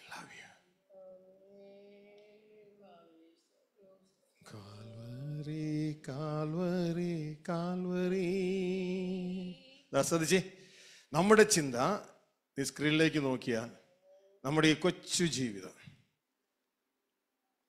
നമ്മളുടെ മതചിന്തയാണ് ഈ പറയുന്നത് കേട്ടോ. കൊച്ചു ജീവിതം. നിങ്ങൾക്കൊരു പെട്ടി കാണാം പെട്ടി. നിങ്ങൾക്ക് പെട്ടി കണ്ടിട്ട് മനസ്സിലായില്ലെങ്കിൽ നിങ്ങൾ ഇൻക്യുബേറ്റർ ചിന്തിച്ചാൽ ഇൻക്യുബേറ്റർ ഇല്ലേ? ഈ കോഴീനെ ഒക്കെ വിരിയിക്കുന്ന ടൈപ്പുള്ള ഇൻക്യുബേറ്റർ ചിന്തിച്ചാൽ അതേപോലെ തന്നെ ലോക സംവിധാനമാണ്. ഈ ലോക സംവിധാനം എന്ന് പറയുന്നത് ശരിക്കും പറഞ്ഞാൽ ദൈവത്തിന്റെ ഒരു പെട്ടിയാണ് ഒരു ഇൻക്യുബേറ്റർ പെട്ടിയാണ് ആ ഇൻക്യുബേറ്റർ പെട്ടിയിൽ ഇതാ ഒരു കൊച്ചു കുഞ്ഞ് ഇവിടെ ജനിച്ചു. ആ ലോക സംവിധാനത്തിലൂടെ ഇങ്ങ് കയറ്റി കയറ്റിവിടും ദൈവം. ഈ ലോകം വാഴുന്ന ആരാന്നറിയാമോ? പിശാജ് പിശാജിന്റെ കീഴിൽ കൂടെ ദൈവം നമ്മളെ ഒരു മണ്ണിന്റെ പാക്കറ്റിലിട്ട് കയറ്റി വിടും. മണ്ണിന്റെ പാക്കറ്റാണിത്. മനസ്സിലായോ? ആ മണ്ണിന്റെ പാക്കറ്റിൽ നിങ്ങൾ കഴിഞ്ഞ പ്രാവശ്യം പറഞ്ഞില്ലേ? ഓർമ്മയുണ്ടോ? മിൽമ? ഓർമ്മയില്ല. രാവിലെ പാൽ മിൽമ പാൽ അതെങ്ങനെയാ വരുന്നേ? രാവിലെ ഒരു ഒരു മണി രണ്ട് മണിയൊക്കെ ആകുമ്പോൾ ആ ഫില്ലിംഗ് സ്റ്റേഷനിൽ നിന്ന് ഒരു പ്ലാസ്റ്റിക് കവറിലേക്ക് അത് ഫില്ല് ചെയ്യും. ഇല്ലേ? എന്നിട്ട് ആ പാലും ബക്കറ്റ് അതിന് ആയുസ് നിങ്ങളുടെ വീട് വരെ ഉള്ളൂ. അല്ലേ അത് നിങ്ങളുടെ വീട്ടിലേക്ക് എത്തിക്കഴിയുമ്പോൾ നിങ്ങൾ എന്നാ ചെയ്യും? ക്രൂരത കാണിക്കും. കത്തിയെടുക്കും. ഒറ്റ കുത്ത്. ഇല്ലേ കവറിന് എന്നിട്ട് പാലെന്ത് ചെയ്യും? വെളിയിലെടുക്കും. എന്നിട്ട് കവർ എന്ത് ചെയ്യും? കളയും. സത്യമാണല്ലോ? ഇല്ലേ? അപ്പൊ കവറ് കളയും പാലെടുക്കും. ദൈവം ഇത് തന്നെ ചെയ്യണേ. നമ്മൾ പ്ലാസ്റ്റിക് കവറിൽ ഫില്ല് ചെയ്ത് വെച്ചു. ദൈവം എന്ത് ചെയ്യുന്നറിയാമോ നമ്മളെ മണ്ണിന്റെ പാക്കറ്റിൽ മറ്റേ പ്ലാസ്റ്റിക് പാക്കറ്റ് ഇത് മണ്ണിന്റെ പാക്കറ്റ്. ഭൂമിയിൽ നിന്ന് മണ്ണ് കൊണ്ട് ഒരു കവർ ഉണ്ടാക്കി. എന്നിട്ട് നമ്മൾ എന്ത് ചെയ്തു? ഫില്ല് ചെയ്തു. ഉൽപ്പത്തിയിൽ. മനസ്സിലായോ? എന്നിട്ട് ദൈവം എന്ത് ചെയ്തു? ഇതാ ഈ വേൾഡ് സിസ്റ്റത്തിലൂടെ പിശാജിന്റെ ഭരണത്തിന്റെ കീഴിലൂടെ നമ്മളെ അങ്ങ് വിട്ടു. ഹല്ലേലൂയ. ഇവിടെ നോക്കണമല്ലോ. ഇവൻ എന്നെ അന്വേഷിക്കോ അതോ ഇവിടെ പിശാജ് കൊടുക്കണേ മതിയോ? അറിയണമല്ലോ. മനസ്സിലായ? ഇതാണ് ഇതാണ് പരീക്ഷ. ഇതാണ് പരീക്ഷ. ഹല്ലേലൂയ. പരീക്ഷ സഹിക്കുന്ന മനുഷ്യൻ ഭാഗ്യവാൻ. കൊള്ളാവുന്നതിനെ തെളിഞ്ഞ ശേഷം കർത്താവ് നമുക്ക് ഒരുക്കിയ കിരീടം പ്രാപിക്കും. മനസ്സിലാവുന്നുണ്ടോ? പാക്കറ്റ് അല്ല ഇതിന്റെ ഉള്ളിൽ നമ്മളുണ്ട്. ഹലലൂയ നമ്മളെ നമ്മുടെ അപ്പനെ പോലെ കാണാൻ കഴിയാത്ത സ്പിരിറ്റ് ആണ്. ഹലലൂയ ഇന്നൊരു സോൾ രൂപത്തിലാന്ന് മാത്രമേ ഉള്ളൂ. ഹലലൂയ നമ്മൾ ഇതിലൂടെ കയറ്റി അങ്ങ് വിടും. കയറ്റി അങ്ങ് വിട്ടിട്ട് ഈ ലോകത്തിലെ കാണുന്ന എല്ലാവിധ പ്രലോഭനങ്ങളും നമ്മുടെ മുമ്പിൽ വരും. നമ്മൾ ഇതെന്നും എനിക്ക് വേണ്ട എന്ന് ജയം പ്രാപിച്ച് എനിക്ക് എന്റെ അപ്പനെ മതി എനിക്ക് എന്റെ അപ്പനോട് കൂടിയുള്ള ജീവിതം മതി എന്ന് പറഞ്ഞ് ഇതിലൂടെ നാം കടന്ന് ജയിച്ചാൽ ദൈവവചനം പറയുന്നു ജയിക്കുന്നവൻ ദൈവത്തിന്റെ മകൻ. ഞാൻ അവന് ദൈവോ അവൻ എനിക്ക് മകനുമായിരിക്കും. വെളിപ്പാട് ഇരുപത്തൊന്നിന്റെ ഏഴിൽ ബൈബിൾ തീരുക അതോടുകൂടെ. ഹലല്ലൂയ ഇരുപത്തൊന്നിന്റെ ഏഴെന്ന് വായിച്ച്.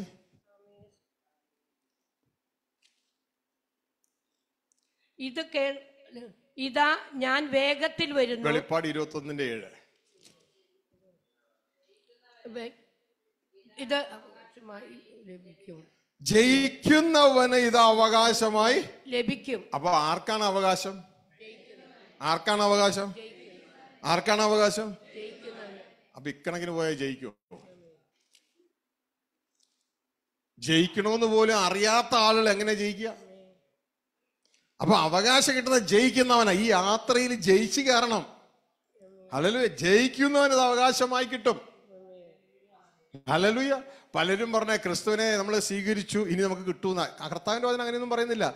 അങ്ങനെ ക്രിസ്തുവിനെ സ്വീകരിച്ചവർക്ക് ഇത് ഉണ്ടാകണമെന്നാണ് ദൈവത്തിന്റെ ആഗ്രഹം. നിത്യജീവൻ തന്നിരിക്കുക. പക്ഷെ ദൈവവചനം പറയുന്നു ആദ്യ വിശ്വാസം നീ അവസാനത്തോളം മുറുകെ പിടിച്ചാൽ നീ ക്രിസ്തുവിൽ പങ്കാളിയായി തീരും ഹലലുയ്യ ആദ്യ വിശ്വാസം അവസാനത്തോളം പിടിച്ചാലേ നീ ദൈവത്തിന്റെ ഭവനമായി മാറുള്ളൂ. ഹലലുയ്യ അല്ലാതെ നമ്മളൊരു ഈസി വഴി കണ്ടെത്തിയെന്നും പറഞ്ഞുകൊണ്ട് ദൈവത്തിന്റെ പ്രോഗ്രാമും വചനമൊന്നും മാറില്ല. ആകാശം മാറും ഭൂമി മാറും. ദൈവത്തിന്റെ വചനങ്ങൾക്ക് ഒരു മാറ്റവും ഇല്ല. ഇനി നമ്മൾ കാണിക്കുന്ന മണ്ടത്തരമാണ് ഞാൻ ഈ പറയാൻ പോകുന്നത്. ശ്രദ്ധിച്ചേ ഈ യാത്രയിൽ നമ്മളൊരു ചെറിയൊരു പീരീഡ് ഇതിലുള്ളൂ ഇവിടെ ഉള്ളൂ ഈ യാത്രയിലുള്ളൂ ചെറിയൊരു പീരീഡേ ഉള്ളൂ. നമ്മൾ എന്ത് ചെയ്യുന്നറിയാമോ ഈ യാത്രയിലെ കാര്യങ്ങൾ ആണ് ഇതാണ് നമ്മുടെ ജീവിതം എന്ന് ചിന്തിച്ച് ഈ യാത്രയിലെ കാര്യങ്ങൾക്ക് വേണ്ടി മാത്രം ഉള്ള ഒരു ദൈവഭക്തി. ഇതാണ് എല്ലാം വില മണ്ടത്തരം. ഇതാണ് ദൈവത്തിന്റെ വചനം പറഞ്ഞത് ഈ യാത്രയിലെ കാര്യങ്ങൾ ഇപ്പൊ തീരും തുടങ്ങും പെട്ടെന്ന് തീരും. ഈ യാത്രയിലെ കാര്യം ക്രിസ്തുവിൽ പ്രത്യാശ വെച്ചിരിക്കുന്നു. ക്രിസ്ത്യാനികളുടെ കാര്യത്തെക്കുറിച്ച് ഈ പറയുന്നത് കേട്ടോ. അല്ലാത്തവരുടെ കാര്യം അവരങ്ങനെ അത് പോയി കിടക്കുക. ക്രിസ്ത്യാനികളുടെ കാര്യത്തെ കുറിച്ച് പറയണം അവരെക്കായി പോയി കിടക്കുന്നവരാണ് ക്രിസ്ത്യാനികൾ എന്നാ ബൈബിൾ പറയണേ. കാരണം ഈ ലോകത്തിലെ ഈ ആയുസിലെ ആവശ്യങ്ങൾക്ക് വേണ്ടി മാത്രം ക്രിസ്തുവിൽ നാം പ്രത്യാശ വെച്ചിരിക്കുന്നുവെങ്കിൽ സകല മനുഷ്യരിലും നാം അരിഷ്ടന്മാരാണ്. ബൈബിൾ പറയുന്നത്. പതിനഞ്ചിന്റെ പത്തൊമ്പത്. നമുക്കത് കാണുവാൻ കഴിയും. വായിച്ച്. നാം ഈ ആയുസ്സിൽ മാത്രം ക്രിസ്തുവിൽ പ്രത്യാശ വെച്ചിരിക്കുന്നു എങ്കിൽ സകല മനുഷ്യരിലും അരിഷ്ടന്മാരത്രേ. അപ്പോ നമ്മളിൽ നല്ലൊരു പങ്ക് അതിൽ പോകും. നല്ലൊരു പങ്ക് അതിൽ പോകും. ഈ ആയുസ്സിൽ മാത്രമുള്ള പ്രത്യാശ. അതായത് ഈ മണ്ണിന്റെ പാക്കറ്റ് ദൈവം കളയാൻ പോകുന്ന മണ്ണിന്റെ പാക്കറ്റിൽ മാത്രം പ്രത്യാശ. നമ്മൾ നമ്മുടെ പാലിന്റെ പ്ലാസ്റ്റിക് കവർ കളയുന്നു. അതിനു വേണ്ടിയല്ല ചെയ്യുന്നത് അതിന്റെ ഉള്ളിലുള്ളതിനെയാണ് നമുക്ക് ആവശ്യം. ദൈവത്തിനും വേണ്ടത് നമ്മളുടെ ഈ കവറിന്റെ ഉള്ളിലുള്ളതിനെയാണ്. ഹലലൂയ കവറിനെ മണ്ണിലേക്ക് ചേർക്കും. ഇതാണ് നമ്മൾ തൊണ്ണൂറാം സങ്കീർത്തനം പറയുന്നത്. അവൻ മർത്യനെ മണ്ണിലേക്ക് പൂഴിയിലേക്ക് ചേർക്കും. എന്നാ ഇതിന്റെ ഉള്ളിലുള്ള പുത്രന്മാരെ മനുഷ്യപുത്രന്മാരെ തിരികെ വരുവിൻ എന്ന് പറയും. അപ്പോ ഇതിനെ രണ്ടായിട്ട് വിഭാഗിച്ചിട്ട് ഒന്നിനെ മണ്ണിലേക്കും ചേർക്കും മറ്റേതിനെ തിരികെ വരാൻ പറയും കണക്ക് കൊടുക്കാൻ.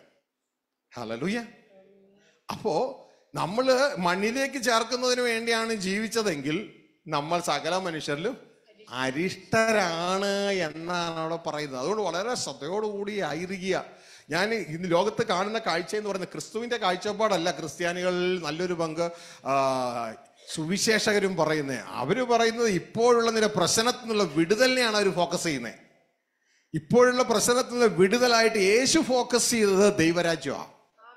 ഹലലിയ മുമ്പേ ദൈവരാജ്യം അന്വേഷിക്കുക അതോടുകൂടെ ഇവിടുത്തെ വിഷയങ്ങളും പരിഹരിക്കപ്പെടും. ഹലലൂയ അപ്പോൾ അതിനായിരുന്നു യേശു ഫോക്കസ് ചെയ്തത് അങ്ങനെ യേശു ക്രിസ്തു ഫോക്കസ് ചെയ്തെങ്കിൽ നമ്മളും അങ്ങനെ തന്നെ ഫോക്കസ് ചെയ്യണം. അതിന്റെ അർത്ഥം രോഗികൾക്ക് വേണ്ടി പ്രാർത്ഥിക്കണമെന്നല്ല. രോഗികൾക്ക് വേണ്ടി പ്രാർത്ഥിക്കണം. ശുശ്രൂഷ ചെയ്യണം. അതുകൊണ്ടാണ് ഈ ശുശ്രൂഷയുടെ ഇടയിൽ ഇതാ ദൈവത്തിന്റെ ആത്മാവ് രോഗികളെ സ്പർശിക്കട്ടെ എന്ന് പറഞ്ഞത്. മനസ്സിലാവുന്നുണ്ടോ? അപ്പോൾ ഇവിടെ നമ്മുടെ ഫോക്കസ് മുഴുവൻ നമ്മളുടെ വീട്ടിൽ നിന്ന് ശക്തി ഇറക്കി ജനത്തെ സ്പർശിക്കുന്നതായിരിക്കണം. മനസ്സിലാവുന്നുണ്ടോ? നമ്മുടെ സ്വർഗീയ ഭവനത്തിൽ നിന്ന് നമ്മുടെ സോ ജനത്തെ പ്രകാശിപ്പിക്കുന്നതായിരിക്കണം. ജനത്തിന്റെ കുരുടത്തം മാറ്റുന്നതായിരിക്കണം. അപ്പോ പിന്നെ അത് നമ്മുടെ എഫർട്ട് അല്ല. നമ്മുടെ അപ്പന്റെ ശക്തിയാൽ കാര്യങ്ങൾ നടന്നുകൊള്ളും. ഹലലൂയ നമ്മുടെ അപ്പന്റെ ശക്തിയാൽ കാര്യങ്ങൾ നടത്തപ്പെടുവാനായിട്ട് ഇടയാകും. ഹലോ ആ ശക്തിയുടെ ടേസ്റ്റ് തിരിച്ചറിയുന്ന ജനം ഉണ്ടല്ലോ ആ ക്രിസ്തുവിൽ ആ ക്രിസ്തുവിന്റെ പുറകെ അങ്ങ് പോകും. കാരണം അവർക്ക് അവർക്ക് ഇത് ഒന്ന് രുചിച്ചറിഞ്ഞില്ലേ? ആ രുചി കൊണ്ട് അവർ ഇതിന്റെ പുറകെ പോകും. ഹലലൂയ യേശു ക്രിസ്തു അഞ്ചപ്പം കൊണ്ട് അയ്യായിരത്തെ പോറ്റി. അയ്യായിരത്തെ പോറ്റി കഴിഞ്ഞപ്പോൾ അപ്പം തിന്ന് കൊതിയുള്ളവര് യേശുവിന്റെ പുറകെ അന്വേഷിച്ചു പോകാൻ തുടങ്ങി. യേശു പറഞ്ഞു നിങ്ങൾ എന്നെ അന്വേഷിച്ചു വന്നത് ഞാൻ ദൈവത്തിൽ നിന്നാണെന്നുള്ള അടയാളം കണ്ടതുകൊണ്ടൊന്നും അല്ല പിന്നെ നിങ്ങൾ വന്നത് അപ്പം തിന്ന് തൃപ്തിയായതുകൊണ്ടാണ് നിങ്ങൾ വരുന്നത് അപ്പോൾ ഈ സമയത്ത് ആ ദൈവ സാന്നിധ്യവും ദൈവശക്തിയും വിളിക്കപ്പെട്ടവരുടെ മേൽ പകരുന്നത് കാണുമ്പോൾ ആ ശക്തിയും ആ സാന്നിധ്യവും ദൈവശക്തിയും ദൈവിക ആനന്ദവും ആ ജീവനും മനുഷ്യന്റെ ഉള്ളിലേക്ക് സ്പർശിക്കപ്പെടുന്നത് കാണുമ്പോൾ ഈ ജനത്തിന് അടങ്ങിയിരിക്കാൻ കഴിയത്തില്ല.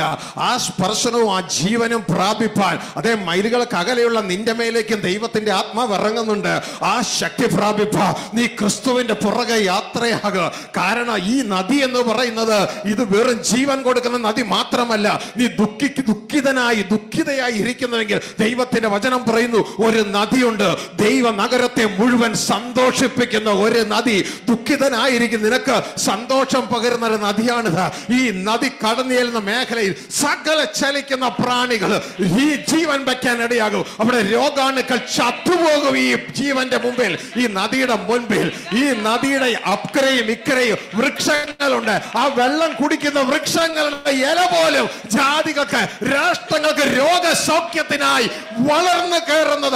ആ ഓ ആ. വൃക്ഷങ്ങൾ പോലും ഈ വെള്ളം വലിച്ചെടുക്കുമ്പോ അതിന്റെ ഇലകൾ രോഗസൗഖ്യമായി മാറും. ആ നദിയാ യേശുവിൽ വിശ്വസിക്കുമ്പോ നിന്റെ ഉള്ളിൽ നിന്ന് പുറത്തിറങ്ങണേ. ആ നദിയാ യേശുവിൽ വിശ്വസിക്കുമ്പോ നിന്റെ ഉള്ളിൽ നിന്ന് പുറത്തിറങ്ങണേ.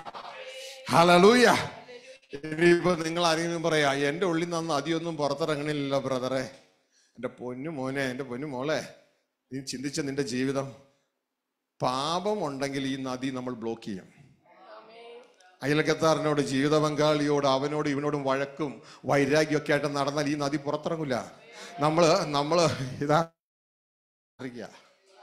നീ വീണ്ടും ജനിച്ചതാണെങ്കിൽ നിന്റെ ഉള്ളിൽ നദിയുണ്ട് പക്ഷെ നദി ഇപ്പൊ കുളമായി കിടക്കുക ആ വണ്ടങ്ങ പൊട്ടിച്ച് കള. ഹലലൂയ വണ്ടങ്ങ പൊട്ടിച്ച് കള. ഒരു സ്പിരിച്വൽ ആൻജിയോപ്ലാസ്റ്റി ഒക്കെ ഒന്ന് ചെയ്യേ. ഹലലൂയ ഈ അഞ്ചോഗ്രാം ചെയ്യുമ്പോൾ മനസ്സിലാകും അവിടെ നാല് ബ്ലോക്ക് ഉണ്ട്. നാല് സ്റ്റെൻഡ് ഇടണമെന്നൊക്കെ പറയില്ലേ? നാല് ബ്ലോക്ക് ഉണ്ട്. അവരെന്താ ചെയ്യണേ അവരുടെ ബലൂൺ കയറ്റിയിട്ട് അത് വികസിപ്പിച്ച് ആ ബ്ലോക്ക് അങ്ങ് പൊട്ടിച്ച് കളയുമ്പോൾ അതിലൂടെ ബ്ലഡ് അങ്ങ് വരുമ്പോൾ ഇതുവരെയും ഉണ്ടായ കാലുവേദന പെട്ടെന്ന് മാറി. കാരണം ബ്ലഡ് ചെന്നവിടെ ഹലലുയ ഇതുവരെയും പലയിടത്തും പല ബുദ്ധിമുട്ടുകളും ഉണ്ടായിട്ടുണ്ടാകാം ഇവിടെ മനസ്സിലാക്കിക്കോ. ഹലലുയ വേറെ ഒന്നുമല്ല നിങ്ങൾ സ്റ്റെൻഡ് ഇടാനൊന്നും പോകണ്ട. അമേരിക്കയിലെ സ്റ്റെൻഡ് കാനഡയിലെ സ്റ്റെൻഡ് ഉണ്ട് ഡൽഹിയിലെ സ്റ്റെൻഡ് ഉണ്ട്. ഇതൊന്നും നേടാൻ പോകണ്ട. പകരം നീ ഒന്ന് പൊട്ടിച്ചാൽ മതി. നിനക്ക് തന്നെ ഇടാവുന്നേ ഉള്ളൂ. എന്റെ യേശു കർത്താവേ എന്റെ ജീവിത പങ്കാളിയോട് എന്റെ അയൽക്കത്തുകാരനോട് എന്റെ മുതലാളിയോട് എന്റെ തൊഴിലാളിയോട് ഞാൻ അപമര്യാദയായി പെരുമാറി അയാളെ തെറി വിളിച്ചത് അയാളുടെ മകൾക്കെതിരെ അയാളുടെ മകനെതിരെ ആ വ്യക്തിക്കെതിരെ ഞാൻ പ്രവർത്തിച്ചത്. എന്നോട് ക്ഷമിക്കണമേ. ഞങ്ങളുടെ രക്തത്തെ എന്നെ കഴുകി ശുദ്ധീകരിക്കണമേ ഞാൻ മറ്റുള്ളവരെ പാര വെച്ചത് അവളുടെ കല്യാണം മുടക്കിയത് ആ ദേവദാസന്റെ പേര് ചീത്തയാക്കിയത് എന്റെ ജീവിതത്തിൽ വലിയൊരു ബ്ലോക്കായി മാറിക്കിടക്കുന്നു. എന്നോട് ക്ഷമിക്കണമേ. എന്റെ ദൈവമേ യേശുവേ അങ്ങ് രക്തത്താൽ കഴുകണമേ. അടുത്ത് കിട്ടുന്ന നിമിഷം മുതൽ ഞാൻ ആ വ്യക്തിയോട് ക്ഷമ ചോദിച്ചുകൊള്ള എന്റെ ജീവിതം ഞാൻ ക്രമപ്പെടുത്തേക്കൊള്ള. ആ ദേവദാസന്റെ ശുശ്രൂഷ ഞാൻ നശിപ്പിച്ചു. ആ ദേവദാസിയുടെ ശുശ്രൂഷ ഞാൻ നശിപ്പിച്ചു. എന്നോട് ക്ഷമിക്കണമേ എന്നെ കഴുകണമേ എന്ന് നീ നിന്റെ ജീവിതത്തിൽ വിളിച്ചു പറയുമ്പോൾ ഒരു ആശുപത്രിയിലും പോകാതെ നിന്റെ ജീവിതത്തിൽ വലിയ ഒരു ആൻജിയോപ്ലാസ്റ്റ് നടക്കുകയായി. നിന്റെ ജീവിതത്തിലൂടെ ഈ ജീവജല നദി പുറത്തേക്ക് ഇറങ്ങുവാനായിട്ട് ഇടയാവുകയായി. താങ്ക് യു അപ്പ. താങ്ക് യു ഇത് കേട്ടുകൊണ്ടിരിക്കുമ്പോൾ തന്നെ നിങ്ങളുടെ ജീവിതം നിങ്ങൾക്ക് ദൈവത്തിൽ ആശ്രയിച്ചുകൊണ്ട് ദാ ആ സ്പിരിച്വൽ ഓപ്പറേഷൻ ചെയ്തെടുക്കുവാൻ കഴിയും. ഹല്ലേലൂയ സങ്കീർത്തന പുസ്തകത്തിൽ ദാവീദ് ഇങ്ങനെ പറയുക ദാവീദിന്റെ ശരീരമൊക്കെ വല്ലാതെ മജ്ജയൊക്കെ അങ്ങ് വറ്റിപ്പോയി. മജ്ജെല്ലാം വറ്റി എല്ലാ അസ്ഥിയോട് ഇങ്ങനെ അടുക്കുക. എന്തോ രോഗം. ദാവീദ് പറയാ ഞാൻ മിണ്ടാതിരുന്നപ്പോ നിത്യമായി ഞരക്കത്ത എന്റെ അസ്ഥികളൊക്കെ ക്ഷയിച്ചു. രോഗിയായെന്ന് താൻ മിണ്ടാതിരിക്കുക. കാരണം ഇപ്പോ തന്റെ ഉള്ളിൽ പലതും ബ്ലോക്കായിപ്പോയി ദൈവിക ജീവൻ കടന്നു വരാത്ത രീതിയിൽ ബ്ലോക്കായി പോയി കാരണം താൻ തന്റെ മട്ടുപ്പാവിലൂടെ നടക്കുമ്പോൾ ദൂരെ ഒരു സ്ത്രീ കുളിക്കുന്നത് കണ്ടു. ആ സ്ത്രീ കുളിക്കുന്നത് കണ്ടപ്പോൾ ആ സ്ത്രീയുടെ നഗ്നരൂപം തന്റെ ഹൃദയ തന്റെ അകത്തൊരു ഡ്രൈവ് അത് ക്രിയേറ്റ് ചെയ്തു. ആ കണ്ടതൊരു ഡ്രൈവ് ക്രിയേറ്റ് ചെയ്തു. തുടർന്ന് ആ ഡ്രൈവിന്റെ തന്റെ തന്റെ സ്വാധീനം ഉപയോഗിച്ച് ആ സ്ത്രീയെ തന്റെ കൊട്ടാരത്തിൽ കൊണ്ടുവന്ന് ആ സ്ത്രീയുമായി ശയിച്ചു. പാപം ചെയ്തു. ദാവീദ് ചിന്തിച്ചു ആരും അറിഞ്ഞില്ല ആത്മലോകം മുഴുവൻ അറിഞ്ഞു ദൈവലോകം മുഴുവൻ അറിഞ്ഞു പൈശാചിക ലോകം മുഴുവനും അറിഞ്ഞു ദാവിദിന്റെ ഉള്ളിലെ ആ സന്തോഷം ബ്ലോക്കായി ഹലലൂയ ആത്മസന്തോഷം ബ്ലോക്കായി ദാവിദ് പറയുക ഞാൻ എന്റെ പാപത്തിന്റെ കുറ്റം നിന്നോട് അറിയിച്ചു അതുവരെയൊക്കെ ബ്ലോക്കാ അതുവരെയൊക്കെ ബ്ലോക്കാ ദാവീദ് ഹാൻഡിയോപ്ലാ ഹാൻഡിയോപ്ലാസ് ചെയ്യുക ഹലലൂയ എന്റെ കുറ്റം നിന്നോട് അറിയിച്ചു ഹലലൂയ ഇതുപോലെ പ്രിയമകനെ പ്രിയമകളെ ലോകത്തിന്റെ ഏത് ഭാഗത്ത് നീ ആയിരിക്കുന്നെങ്കിൽ നിന്നെ കാത്തിരിക്കുന്ന ഒരു അപ്പനുണ്ട്. ആ അപ്പനെ വേദനിപ്പിക്കരുത്. പകരം ഹലലൂയ ഈ ആന്റിയോബ്ലാസ്റ്റ് ദാവിത് ചെയ്ത് നീയും ചെയ്യേ. ആ പാപത്തിന്റെ കുറ്റം ദൈവത്തെ അറിയിക്കുക ദൈവം ക്ഷമിക്കും തീർച്ചയായും ക്ഷമിക്കും. കാരണം നമ്മുടെ പ്രകൃതം അറിയാത്തവനല്ല ദൈവം. ഹലലൂയ നമ്മുടെ പ്രകൃതം അറിയാത്തവനല്ല. ഹലലൂയ നമ്മളെല്ലാം വീണുപോയ ദൈവത്തിന് അറിയാം. ഹലലൂയ എന്നാൽ താങ്ങാൻ കഴിവുള്ള അപ്പന്റെ അടുക്ക ചൊല്ല അപ്പാ എനിക്ക് പറ്റിപ്പോയി എന്നോട് ക്ഷമിക്കണേ. ആ അപ്പനല്ലാതെ നമ്മളെ ആരാ കരുതുന്നേ? ഹലലൂയ നമുക്ക് വേണ്ടി എല്ലാം കരുതിയിട്ടുണ്ട്. ഹലലൂയ നമ്മൾ വീണുപോകുമെന്ന് അറിയാവുന്നത് കൊണ്ട് തന്നെയാ സ്വർഗത്തിലെ ദൈവം തന്റെ പുത്രനെ നമുക്ക് വേണ്ടി കരുതി ലോകത്തിലേക്ക് അയച്ചത്. ഹലലൂയ നമ്മളെ വീണ്ടെടുക്കാൻ. അതുകൊണ്ടാണ് ഉൽപ്പത്തി സോറി എഫ് എസ് ലേഖനം ഒന്നിന്റെ നാല് മുതൽ ആറ് വരെ വായിക്കുമ്പോൾ ദൈവത്തിന്റെ വചനം പറയുന്നത് എന്നറിയാമോ തന്റെ പുത്രൻ മുഖാന്തരം ദത്തെടുക്കേണ്ടതിന് മുൻ നിയമിച്ചിരുന്നു. അറിയാൻ പാടില്ലാത്തതെന്ന് മനസ്സിലാക്കുക നമ്മൾ വീഴുമെന്ന് അറിയാവുന്നത് കൊണ്ട് ലോക സ്ഥാപനത്തിന് മുമ്പേ തന്റെ പുത്രൻ മുഖാന്തരം വീണുപോയതിനെ തിരിച്ചു പിടിക്കേണ്ടതിന് ദൈവം കാര്യങ്ങൾ ഒരുക്കിയിരുന്നു. ഇതാ കർത്താവിന്റെ വചനം പറയുന്നത്. ഞാൻ നിനക്കായി കരുതിയിരിക്കുന്നതാകിയ ഞാൻ കരുതിയിട്ടുണ്ട്. ഞാൻ കരുതിയിട്ടുണ്ട്. ഈ ഏഹ്, ഇച്ചിരി പ്രാക്ടിക്കലായിട്ട് ചിന്തിക്കുന്ന കുടുംബനാഥന്മാരുണ്ടെങ്കിൽ എന്ത് ചെയ്യുന്നറിയാം? ഇതാ കുടുംബത്തിൽ ഒരു ഹെൽത്ത് ഇൻഷുറൻസ് എടുത്തിടും. ഒരു ഹെൽത്ത് ഇൻഷുറൻസ് എടുത്തിടും. എന്തിനാണെന്നറിയോ? പെട്ടെന്നൊരു വിഷയം വന്ന് അനേക കുടുംബങ്ങളെ കുറിച്ച് കേൾക്കാം. ഒരു കുടുംബം വിറ്റ് ചികിത്സിച്ചു. പക്ഷേ കാര്യം നടന്നതും നടക്കാത്തതും ഒക്കെ കേൾക്കാം. ഒരു പ്രത്യേക ഒരു വിഷയം വന്നു കഴിഞ്ഞാൽ ആ കഴിഞ്ഞ ദിവസം ഒരു സഹോദരി എന്റെ അടുക്കൽ വന്നു പ്രാർത്ഥിക്കാനായിട്ട്. ഏതോ തന്റെ ഭർത്താവിനെയോ ആരെയോ ചികിത്സിക്കാനായിട്ട് എവിടെയോ കൊണ്ടുപോയിട്ട് ഏത് ഹോസ്പിറ്റലിൽ കൊണ്ടു ചികിത്സ കഴിഞ്ഞ് മൊത്തം വന്നപ്പോൾ അമ്പത് ലക്ഷം രൂപയുടെ മുകളിലായി. എന്നിട്ട് അവസാനം ആൾ മരിക്കും പോയി മരിച്ചും പോയി. വേറെ എന്റെ ഒരു അങ്കിൾ എറണാകുളത്ത് തുണിക്കട നടത്തിക്കൊണ്ടിരുന്നതാണ് ജീൻ ഷാക്ക് എന്ന് പറഞ്ഞുകൊണ്ട് അദ്ദേഹത്തിന് ഒരു വിഷയം വന്നു. ഇതാ എറണാകുളത്ത് ലേക്ഷോറിൽ ഹോസ്പിറ്റലിൽ ഏകദേശം മുപ്പത് ലക്ഷം രൂപ കൊടുത്ത് അവസാനം ആൾ മരിച്ചുപോയി. ഇതാ പലയിടത്തും പലരും പലരും പലരും അതിൽ താൻ അഞ്ച് ലക്ഷം രൂപ രണ്ട് ലക്ഷം രൂപ മൂന്ന് ലക്ഷം രൂപ പല പല കേസ് കെട്ടുകൾ ഇത് കയറി വരും. ഇതെന്ത് ചെയ്യും? ആ കുടുംബത്തെ ഫൈനാൻസ് ലെവൽ അല്ലെങ്കിൽ ആ കുടുംബത്തെ എടുത്ത് തകർത്ത് വലിച്ചെറിയും. ഹലലുയ്യ അപ്പോ ഇതിൽ ചിലർ ചെയ്യുന്ന കാര്യമൊന്നുണ്ട് ചെയ്യുന്ന കാര്യമുണ്ട്. ഞാൻ വേറെ എന്റെ കുടുംബത്തിൽ ഒരാളെ കുറിച്ച് കേട്ടു. എപ്പോഴും രോഗമാണ് എപ്പോഴും ആശുപത്രിയിലാണ്. അപ്പൊ ഞാൻ ചിന്തിച്ച് ദൈവമേ ഓരോ പ്രാവശ്യവും പുറത്തിറങ്ങുമ്പോൾ അമ്പതിനായിരം ഒരു ലക്ഷം രണ്ട് ലക്ഷം പുറത്ത്. അപ്പൊ എങ്ങനെ ഇത് നടക്കണേ? അവ പറയാണ് ഇൻഷുറൻസ് ഉണ്ട്. കുഴപ്പം ഇല്ല. അവർ കൊടുത്തോളൂ. അവർ കൊടുത്തോളൂ. അവർ കൊടുത്തോളൂ. അപ്പൊ കുടുംബത്തിന്റെ നട്ടൽ പോകാതെ ആ കാര്യങ്ങളെ കാക്കും. മനസ്സിലാവുന്നുണ്ടോ? നമ്മുടെ അപ്പൻ നമ്മളെക്കുറിച്ച് ഇതിലും ചിന്തിക്കുന്ന ആളാ. ഇതിനും ചിന്തിക്കുന്ന ആളാ.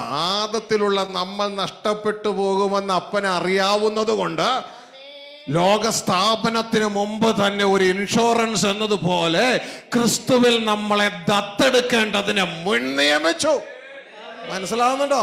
മുൻ നിയമിച്ചു അവരെഴുതി വെച്ചിരിക്കുക നമ്മളെ തന്റെ പുത്രൻ തന്റെ വാത്സല്യ പുത്രൻ മുഖാന്തരം ദത്തെടുക്കേണ്ടതിന് ലോകസ്ഥാപനത്തിന് മുൻ നിയമിച്ചു അവനിൽ തെരഞ്ഞെടുത്തു മുൻ നിയമിച്ചു. എത്ര നല്ല ഗൃഹനാഥനാ. ഹലലൂയ ഈ അപ്പനോട് കൂടെ ചേരാൻ എന്തിനാ സംശയിക്കണേ? ഈ അപ്പനോട് അപ്പന്റെ അടുക്കൽ എത്താൻ യേശു കർത്താവിനെ അനുഗമിപ്പാൻ എന്തിനാ സംശയിക്കണേ? ഹലലൂയ അപ്പൊ പ്രിയ സഹോദരങ്ങളെ വളരെ ശ്രദ്ധയോടുകൂടി ആയിരിക്കുക നമ്മൾ അപകടത്തിൽ പെട്ടുപോകരുത്. ഇത് കണ്ടോ? നിങ്ങൾക്ക് സ്ക്രീനിലേക്ക് നോക്കിയാൽ കാണാം. ഒരു മനുഷ്യന്റെ ജീവചക്രം. ഒരു മനുഷ്യന്റെ ജീവചക്രം. ഒരു കൊച്ചു കുഞ്ഞിൽ നിന്ന് ആരംഭിച്ച് ദ്രവിക്കുന്ന ഒരു മനുഷ്യനിൽ ദ്രവിച്ച് പൊടിയായി തീരുന്ന ഒരു മനുഷ്യനിൽ ദൈവത്തിന്റെ വചനം തൊണ്ണൂറ് സങ്കീർത്തനം വളരെ വ്യക്തതയോടെ പറയുന്നു മർത്യനെ അവൻ പൂഴിയിലേക്ക് മണ്ണിലേക്ക് പൂ ചേർക്കുമാറാക്കുന്നു. ഇതേപോലെ ഇത് കവർ മാത്രമാണ് ഈ കാണുന്നത് നിങ്ങൾ സ്ക്രീനിൽ നമ്മുടെ ചിന്തയിലെ മനുഷ്യൻ നമ്മുടെ ചിന്തയിലെ മനുഷ്യൻ. ഇത് കണ്ടോ? ഒരു കൊച്ചു കുഞ്ഞ്. ഒരമ്മയുടെ വയറ്റിൽ ജനിച്ച കൊച്ചു കുഞ്ഞിനെ കാണുന്നത്. പിന്നെ കൊച്ചു വളരുന്നു.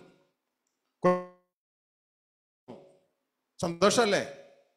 ഉടനെ തന്നെ നിങ്ങളുടെ ഇപ്പോഴത്തെ കാലത്താണെങ്കിൽ എന്നെ സംഭവിക്കും. മൊബൈൽ ചലിക്കും. ചാച്ചാ എന്താടി? ഞാൻ ഭയങ്കര തിരക്കില്ല ഒരു സന്തോഷ വാർത്ത പറയാനാന്നേ എന്തോ നമ്മുടെ കൊച്ചു മുട്ടുമേ പൊങ്ങിന് അങ്ങനെയാ? വൈകിട്ട് ഞാൻ കേക്ക് മേടിച്ചിട്ടുണ്ടോ ഒരാട്ടാ സജ സന്തോഷ. കൊച്ചു മുട്ടുമേ പൊങ്ങി. കമന്ന് വീണു മുട്ടുമേ പൊങ്ങി. പിന്നെ എഴുന്നേറ്റ് തിന്നു നടന്നു വീണു വീണ്ടും നടന്നു ഓടി. ഭയങ്കര സന്തോഷമല്ലേ? അങ്ങനെ സന്തോഷിച്ചതേ ദാ ഇത് നമ്മുടെ നമ്മുടെ പ്രായം നമ്മൾ ഈ ഇതിലൂടെ വന്നു. കണ്ടോ? ഈ പ്രായമൊക്കെ ആയി. ഹലലുയ ഈ പ്രായമൊക്കെ ആയി. തുടർന്ന് ഇതാ നമ്മൾ സ്കൂളിലും കോളേജിലൊക്കെ പോയി. പത്താം ക്ലാസ് കഴിഞ്ഞു ഡിഗ്രി കഴിഞ്ഞു. ഇതാ പി ജി ഒക്കെ എടുത്തു. റെക്കോർഡ് പുസ്തകമൊക്കെ കയ്യിലുണ്ട്. ആൾ റെഡിയായി കണ്ടോ? ആൾ റെഡിയായി ഇനിയിപ്പോൾ ഇതാ യുവാവായി യുവതിയായി. ഇപ്പോഴാ എല്ലാവർക്കും വേണ്ടേ? അല്ലേ? നമ്മുടെ ഭാഷ പറഞ്ഞ ചർച്ചയാർക്ക് വേണം? അച്ഛന് പാസ്റ്റർക്ക് വേണം അഡ്വർടൈസ്മെന്റ് കമ്പനിക്കാർക്ക് വേണം രാഷ്ട്രീയക്കാർക്ക് വേണം വീട്ടുകാർക്ക് എല്ലാവർക്കും വേണം. കാരണം ഇപ്പോഴെ ഈ വ്യക്തിയെ കൊണ്ട് ഇവളെ കൊണ്ട് ഇവനെ കൊണ്ട് എന്തെങ്കിലും ഗുണമുള്ളൂ. എന്ത് ഗുണം? കറൻസി ഊറ്റിയെടുക്കാൻ പറ്റിയ സമയം. പശുവിനെ കറന്നെടുക്കുന്ന പോലെ. കറവ ഉള്ളപ്പോഴാണ് അതിനെ കറന്നെടുക്കേണ്ടത്. മനസ്സിലാവുന്നുണ്ടോ? കറവയുള്ള കറന്നെടുക്കുക. അപ്പോൾ എല്ലാവർക്കും ആവശ്യമാണ്. എല്ലാവർക്കും ആവശ്യമുള്ള ഈ സമയം. വീട്ടിലൊക്കെ കോഴി താറാവൊക്കെ മേടിച്ച കാല ആർക്കായിരിക്കും? രണ്ടു കാലല്ലേ ഉള്ളു എല്ലാവർക്കും കൊടുക്കാൻ പറ്റൂലല്ലോ. അപ്പൊ അപ്പ- അപ്പൻ അപ്പൻ എന്നാ പറയും? എടേ എന്താ ചാച്ചാ? അവന് കൊടുക്കടി കാൽ. അവന് കൊടുക്കാൻ. അതെ അവന്റെ മുമ്പിൽ വെച്ചാ പറയുള്ളൂ. കാരണം അവനാണ് ഈ വീട്ടിലേക്ക് എന്തെങ്കിലും കൊണ്ടുവരുന്നേ. അപ്പൊ ഇതാ അങ്ങനെ അവനും അവക്കുമാണ് പ്രാധാന്യം. ഹലലുയ്യ പിന്നെ കുറച്ചാളെ കഴിയുമ്പോൾ ഇനി അങ്ങനെ സ്വതന്ത്രമായിട്ട് പോകണ്ട. അല്ല ഇങ്ങനെയൊക്കെ പോയാൽ മതിയോ? ഒരു കല്യാണമൊക്കെ? കഴിക്കല്ലേ? അതല്ല ഇപ്പോഴത്തെ പിള്ളേർ രക്ഷപ്പെട്ട് ഓടുക. ശ്രദ്ധിച്ച് ഒരു കല്യാണമൊക്കെ കഴിക്കണ്ടേ? അങ്ങനെ ഈ പിള്ളേ ഈ മോനെ മോളെ പിടിച്ച് കല്യാണം കഴിപ്പിക്കും. കല്യാണം കഴിപ്പിച്ചു കഴിഞ്ഞാൽ ഇതാ പിന്നെ കുഞ്ഞായി. ഇതാ കുഞ്ഞുങ്ങളായി. പിന്നെ പെട്ടെന്ന് ടെൻഷനെ കൂടി ഭാരം കൂടി അവരുടെ കാര്യങ്ങളായി.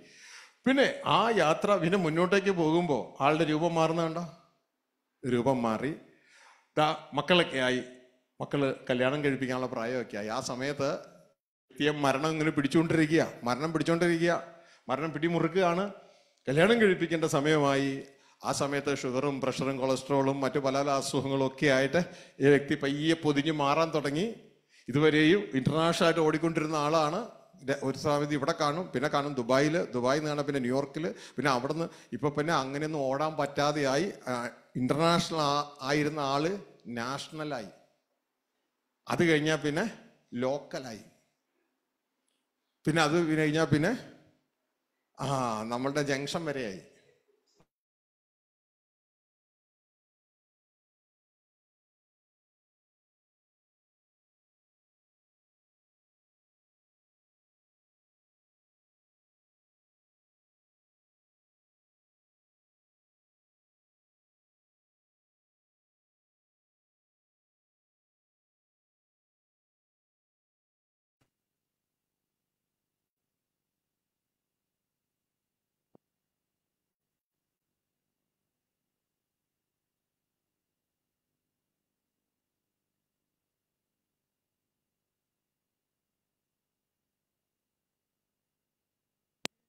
ഓമനി നമ്മയേക്കാ ഓമനിക്കും ദൈവമേ.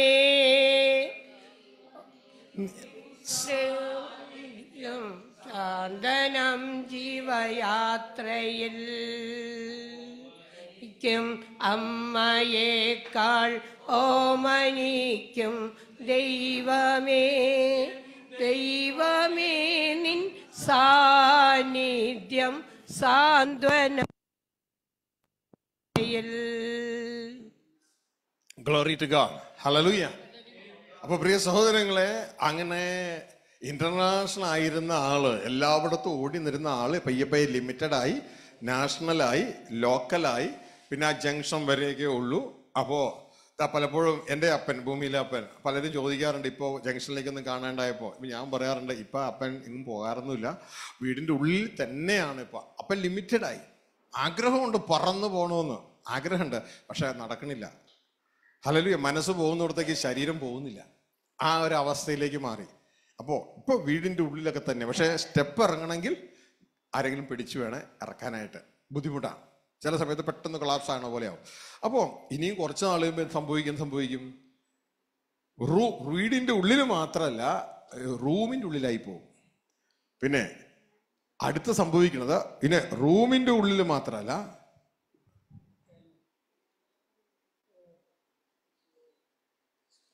അടുത്ത് സംഭവിക്കുന്നത് റൂമിന്റെ ഉള്ളിൽ മാത്രമല്ല ബെഡിൽ മാത്രമാണ് കണ്ടോ മനുഷ്യൻ ലിമിറ്റ് ആയിക്കൊണ്ടിരിക്കുന്നുണ്ടോ? ആദത്തിലുള്ള ഒരു മനുഷ്യൻ ഇങ്ങനെയാ ലിമിറ്റ് ആയിക്കൊണ്ടേയിരിക്കും ഹലലുയ്യ അതിനുശേഷം അവിടുന്ന് നേരെ ദാ സെമത്തേരിയിലേക്കായി. ഹലലുയ്യ മണ്ണിലേക്കായി. എന്തിനാ? പിന്നെ ചവിട്ടാനാ. മനസ്സിലാവുന്നുണ്ടോ? അപ്പോൾ ഈ ഒരു തലത്തിലാണ് ഈ മനുഷ്യൻ ആകപ്പെടുന്നത്. അപ്പോൾ നിങ്ങൾക്ക് സ്ക്രീനിൽ കാണാം. ഇതാ ഓരോ നിമിഷവും ആ മനുഷ്യൻ ബലഹീനമായി ബലഹീനമായി മരണം അവനെ പിടിച്ച് പിടിച്ച് പിടിച്ച് ഇതാ ആൾ വീണ്ടും കുനിഞ്ഞു. പഴയവർ നിൽക്കാൻ പറ്റുന്നില്ല ഒരു വടിയുടെ അപ്പൊ നമ്മൾ ഇത്രയും നാൾ അധ്വാനിച്ചതിന് വേണ്ടിയാ? ചിന്തിച്ചു നോക്കിയേ. ഈ ഒരു സാധനത്തിന് വേണ്ടിയല്ലേ? എൽ കെ ജി മുതൽ ഇവനെ പോറ്റാനായിട്ട് അധ്വാനിച്ച് അധ്വാനിച്ച് എല്ലാ സമയം മുഴുവൻ ഇവന് ഇൻവെസ്റ്റ് ചെയ്തു അല്ലേ? സമയം മുഴുവൻ ഇൻവെസ്റ്റ് ചെയ്ത അവസാനം നമുക്ക് എന്നാ കിട്ടി? വട്ട പൂജ്യം. മനസ്സിലായോ? ഇതാ യേശു പറഞ്ഞ ഫ്ലഷ് പ്രോഫിറ്റ് നത്തിങ് ഇവിടുത്തെ കിട്ടിയാ? ഹലലുയ്യ ഇവിടെയാണ് നമ്മൾ ഷിഫ്റ്റ് ചെയ്യേണ്ടത്. ഒരു നല്ല മ്യൂച്വൽ ഫണ്ട് മാനേജർ ചെയ്യുന്നത് പോലെ ഫലമില്ലാത്ത മ്യൂച്വൽ ഫണ്ടിൽ നിന്ന് അതിനെ മാറ്റിയിട്ട് ഫലമുള്ള കമ്പനിയുടെ ഷെയറിലേക്ക് മാറ്റുന്നത് പോലെ യേശു പറഞ്ഞു ഫ്ലഷ് പ്രോഫിറ്റ് നത്തിങ് ഓഹോ ഇത്രയും നാൾ ഞാൻ അതിലാണല്ലോ ഇൻവെസ്റ്റ് ചെയ്തത് എന്നാൽ അതിൽ നിന്ന് മാറ്റിയിട്ട് സ്പിരിറ്റ് ഗീവ്സ് ലൈഫ് ആത്മാവിൽ ഇൻവെസ്റ്റ് ചെയ്യണം.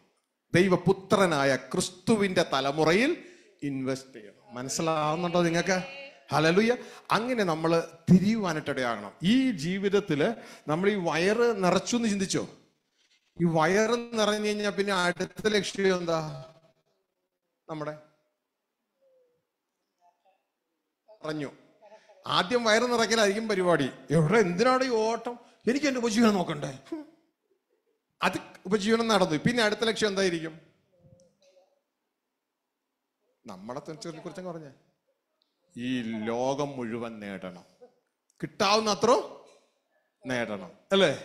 അതല്ലേ ഞാൻ എന്റെ കാര്യം പറഞ്ഞു കേട്ടോ. നിങ്ങൾ അങ്ങനെയല്ലായിരിക്കും. പക്ഷെ ഞാനൊരു പോക്ക് കേസ് കേട്ടായിരുന്നു. അതുകൊണ്ട് എന്റെ ചിന്ത എന്ന് പറയുന്നത് ലോകം മുഴുവൻ നേടണം. ഇതാ ഒരു ഒരു ഒരു ഗുണമില്ലാതിരുന്ന ഇനി എന്നെ സ്വർഗത്തിലെ ദൈവം ഗൾഫിലേക്ക് കൊണ്ടുപോയി. താൻ ദൈവം തന്നെ ടിക്കറ്റ് അറേഞ്ച് ചെയ്തു. ദൈവം തന്നെ വിസ അറേഞ്ച് ചെയ്തു. ഇനി ഗൾഫിൽ ആരുമില്ലായിരുന്നു. ദൈവം എന്നെ അവിടെ കൊണ്ട് ഇറക്കി. എന്നെ ദൈവം അവിടെ ഉയർത്താൻ തുടങ്ങി. അവിടെ ഉയർത്തു തുടങ്ങി. തുടർന്ന് റാസൽ കെമ്മൽ ഒരു സ്ഥാപനം തന്നു. തുടർന്ന് ആരും എനിക്ക് എതിരെ കംപ്ലൈന്റ് ചെയ്തപ്പോൾ റാസൽ കെമ്മൽ ദൈവം രണ്ടാമത്തെ സ്ഥാപനം തന്നു. അപ്പോ റാസൽ കൈമ നൂറ് കിലോമീറ്റർ അകലെ പിന്നെ മൂന്നാമത്തെ സ്ഥാപനം ദുബായിൽ മൂന്നാമത്തെ തന്നു. നാലാമത്തത് തുടങ്ങാൻ വേണ്ടി. കാരണം എന്റെ ചിന്ത എന്താ ലോകം മുഴുവൻ വെട്ടിപ്പിടിക്കണം. അപ്പൊ ഞാൻ ഓടുകയാണ്. റഷ്യയിൽ അസർബൈജാൻ എന്ന് പറഞ്ഞ സ്ഥലത്ത് ഓയിൽ ബൂം നടക്കുക. അവിടെ പോയി ഇറങ്ങി അവിടെ വിസ അടിച്ചു അവിടെ സ്ഥാപനം തുടങ്ങാൻ. അപ്പോഴാണ് ദൈവം എന്റെ ചിന്താഗതി മാറ്റിയത്. എടാ മോനെ നീ നേടുന്ന കാര്യമൊക്കെ കൊള്ളാം. പക്ഷെ ഒരെണ്ണം ഒന്നുപോലും സെമത്തേരിക്ക് അപ്പുറം പോകില്ല ഒന്നുപോലും സമത്തേരിക്കപ്പുറം പോകത്തില്ല. ഇപ്പോഴാണ് എന്റെ ഇൻവെസ്റ്റ്മെന്റ് അവിടെ നിന്നാണ് തിരിയാൻ തുടങ്ങിയത് റിയലി തിരിയാൻ തുടങ്ങിയത് അല്ലെങ്കിൽ അതുവരെ ഈ ലോകത്തിലെ ആളുകൾ സുവിശേഷം അറിയിക്കുന്ന പോലെയൊക്കെ ഞാൻ ഓടിക്കൊണ്ടിരുന്നു. അല്ലെങ്കിൽ എന്റെ റിയലി എന്റെ ഇൻവെസ്റ്റ്മെന്റ് അവിടെ നിന്ന് മാറാൻ തുടങ്ങി. അപ്പൊ ഞാൻ പയ്യെ പയ്യെ പയ്യെ അത് വൈൻഡപ്പ് ചെയ്ത് വൈൻഡപ്പ് ചെയ്ത് വൈൻഡപ്പ് ചെയ്ത് ഇതിലേക്ക് കൂട്ടി. ഞാൻ ഇൻവെസ്റ്റ്മെന്റ് മാറ്റുകയാണ്. ഹലലുയ ആ ഇൻവെസ്റ്റ്മെന്റ് ദൈവം ക്രമപ്പെടുന്നതനുസരിച്ച് മാറ്റി മാറ്റി കൊണ്ടിരിക്കുകയാണ് അപ്പൊ നമ്മളുടെ വിഷയം എന്ന് പറയുന്നത് നമ്മൾ ആദ്യം വയറ് നിറയ്ക്കാൻ നോക്കും. വയറ് നിറ പരിപാടി കഴിഞ്ഞാൽ പിന്നെ ലോകം മുഴുവൻ നേടുന്നതിനെ കുറിച്ച് നോക്കും. ഹലലുയ അപ്പോൾ ഈ ഒരു ചിന്ത നമുക്കെല്ലാവർക്കും ഉണ്ട്. അപ്പൊ ഇവിടുന്ന് മാറിയിട്ട് നമ്മൾ എന്ത് ചെയ്യണം? നമുക്ക് ആത്മാവിൽ ഇൻവെസ്റ്റ് ചെയ്യുന്നതിനെ കുറിച്ച് ചിന്തിക്കണം. ആ അപ്പന്റെ അടുക്കൽ എത്തുന്നതിനെ കുറിച്ച്. അപ്പന്റെ സിസ്റ്റം എന്താണ്? ദൈവത്തിന്റെ വചനം പറയാണ് ഒരുത്തൻ ഒരുത്തൻ ഇപ്പൊ എന്നെ പോലെയുള്ള ചിന്തക്കാരനായിരിക്കും ആ വ്യക്തി ചിന്തിക്കുന്നത് എന്നറിയാമോ? ഞാൻ ഇത്രയും വായ്പ ഒരു സ്ഥാപനമായി രണ്ട് സ്ഥാപനമായി ഇനിയും ഞാൻ എന്റെ കളപ്പുരകൾ പൊളിച്ച് പണി കുറെ വലുതായിട്ട് പണി അതുകൊണ്ട് ഞാൻ ഇതൊക്കെ ശേഖരിച്ചു വെക്കും. എന്തിനു വേണ്ടിയാ? ഈ ആയുസിൽ മാത്രം. എത്ര? ഇതേ കണ്ട? ആയുസ് കണ്ട? ഇവിടം ഇവിടം വരെ.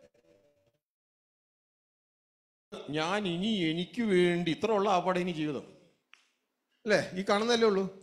ഏ ഈ കുഞ്ഞായിരുന്നപ്പോൾ അങ്ങനെ വല്ലതും ചിന്തിക്കുമോ ഇല്ല. ഇത് ചിന്തിക്കാൻ തുടങ്ങണത് ഒരുവിധമൊക്കെ പ്രായമായി ഒരു സ്കൂളിലൊക്കെ ചെല്ലുമ്പോഴാ ചിന്തിക്കാൻ തുടങ്ങണേ. അയാൾ കാറിൽ പോകണ്ടപ്പോ എനിക്കും ഒരു കാറ് വേണം. ഇല്ലേ? ആ അവൾ അവൾ ആരും മേടിക്കും ജോലി കിട്ടുമ്പോൾ വലിയൊരു പാവാടി ചുരിദാറൊക്കെ ഇല്ലേ? അങ്ങനെയുള്ള അങ്ങനെയുള്ള ചിന്തകളൊക്കെ കയറി വരും. അപ്പോൾ അങ്ങനെ നേടണം എന്നുള്ള കുറച്ച് നാളേ ഉള്ളൂ. പക്ഷെ നമ്മുടെ ജീവിതം എന്തോരേ ഉള്ളൂ? ഒരല്പസമയമേ ഉള്ളൂ. നൊടി നേരത്തേക്ക് കാണുന്നതും പിന്നെ മറഞ്ഞു പോകുന്നതുമായ ആവിയ. അല്ലേ? അപ്പൊ ഇത് മന- ഇത് നമ്മൾ മനസ്സിലാക്കിക്കൊണ്ട് ഇതാ എനിക്ക് ഇവിടെ നിന്ന് എറണാകുളം വരെയും പോകാനായിട്ട് മാക്സിമം പോയി വരാനായിട്ട് ഒരു ഇരുപത്തഞ്ച് ലിറ്റർ പെട്രോൾ മതി. അല്ലേ?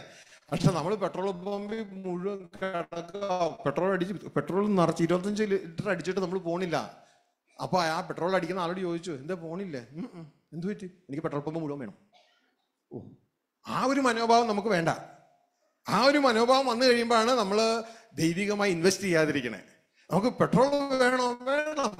എനിക്ക് ശമത്തേരി വരെ ചെല്ലാനുള്ള കാര്യങ്ങൾ എനിക്ക് വേണം. മനസ്സിലായ ആ ഒരു മൈൻഡ് സെറ്റ് അതാണ് ദൈവത്തിന്റെ വചനം പറഞ്ഞത്. ഉണ്മാനും ഉടുപ്പാനും ഉണ്ടെങ്കിൽ മതി എന്ന് വിചാരിക്കുക. നിന്നെ ഏൽപ്പിച്ച പദ്ധതി ഫുൾഫിൽ ചെയ്യാൻ എന്തൊക്കെ വേണോ അത് മതി. ഇത് മനസ്സിലാക്കി കഴിഞ്ഞപ്പോൾ പിന്നെ ഞാൻ ഞാൻ റഷ്യയിലേക്ക് മടങ്ങി പോയില്ല. നിങ്ങൾ തിരിച്ചു പിടിച്ചു. ദുബായിലെ സ്ഥാപനം വേറൊരാൾക്ക് കൊടുത്തു. കുറയ്ക്കുക പിടിക്കുക തിരിച്ചു പിടിക്കുക. കാരണം എന്റെ എന്തിനാ പിടിക്കണേ? എന്റെ സമയം തിരിച്ചു പിടിക്കണം. ദൈവത്തിന്റെ വചനം പറയുന്നു നിങ്ങൾ ഇതിന് ഇതിന് താല്പര്യം ഉണ്ടെങ്കിൽ നിങ്ങൾക്ക് ഇൻവെസ്റ്റ്മെന്റിന് താല്പര്യം ഉണ്ടെങ്കിൽ ദൈവത്തിന്റെ വചനം പറയാ redeeming the time because the days are evil സമയം തക്കത്തിൽ ഉപയോഗിക്കുക. കാരണം ഇത് പിശാചു വാഴുന്ന കാലമാ ദുഷ്കാലമാ. മനസ്സിലായോ? നിന്റെ സമയം മുഴുവൻ ആര് പിടിച്ചു? പിശാചു പിടിച്ചു. ഈ ലോക സിസ്റ്റത്തിൽ പിടിച്ചു. എന്തിനു വേണ്ടി? വയറ് നിറയ്ക്കാൻ. വയറ് നിറച്ചാൽ നീ അടങ്ങുമോ ഇല്ല. നിനക്ക് ലോകം മുഴുവൻ വേണം. അപ്പൊ ഇത് തിരിച്ചറിഞ്ഞിട്ട് നീ എന്ത് ചെയ്യണം? അതിനെ ബാലൻസ് ചെയ്യണം. അതിനെ പൂർണമായും തള്ളിക്കളയരുത്. കാരണം നീ ഒരു ശാപത്തിന്റെ കീഴില. ശപിക്കപ്പെട്ട ഭൂമിയുടെ കീഴിലാണ് നീ ഭൂമിയിലാ നീ ഇരിക്കണേ. അതിനെ നീ ബാലൻസ് ചെയ്തിട്ട് ദൈവ സഹായത്തോടെ സമയത്തെ ഉദ്ധരിച്ച് എടുക്കണം എന്നിട്ട് എന്ത് ചെയ്യണം? നിന്റെ ലക്ഷ്യമായ അപ്പന്റെ അടുക്കൽ മാക്സിമം തേജസ്സോടെ പ്രവേശിക്കാൻ തക്കവ മനസ്സിലാവുന്നുണ്ടോ? അല്ലെങ്കിൽ ഈ സമയത്ത് ഇൻവെസ്റ്റ് ചെയ്യണം. അപ്പൊ നീ റിയലി ഇത് ഇൻവെസ്റ്റ് ചെയ്യാൻ തുടങ്ങുമ്പോ ആര് നിനക്ക് എതിരെ വരുമെന്നറിയാമോ? പിശാജ് പിശാജിന്റെ ആളുകൾ എതിരെ വരും. ഇത്രയും നാൾ നീ എങ്ങനെ ഒഴുകിയേ? ലോകപ്രകാരം ഒഴുകി ലോകത്തിലെ മതപ്രകാരം ഒഴുകി. നോ പ്രോബ്ലം അവർക്കും പ്രശ്നമില്ല.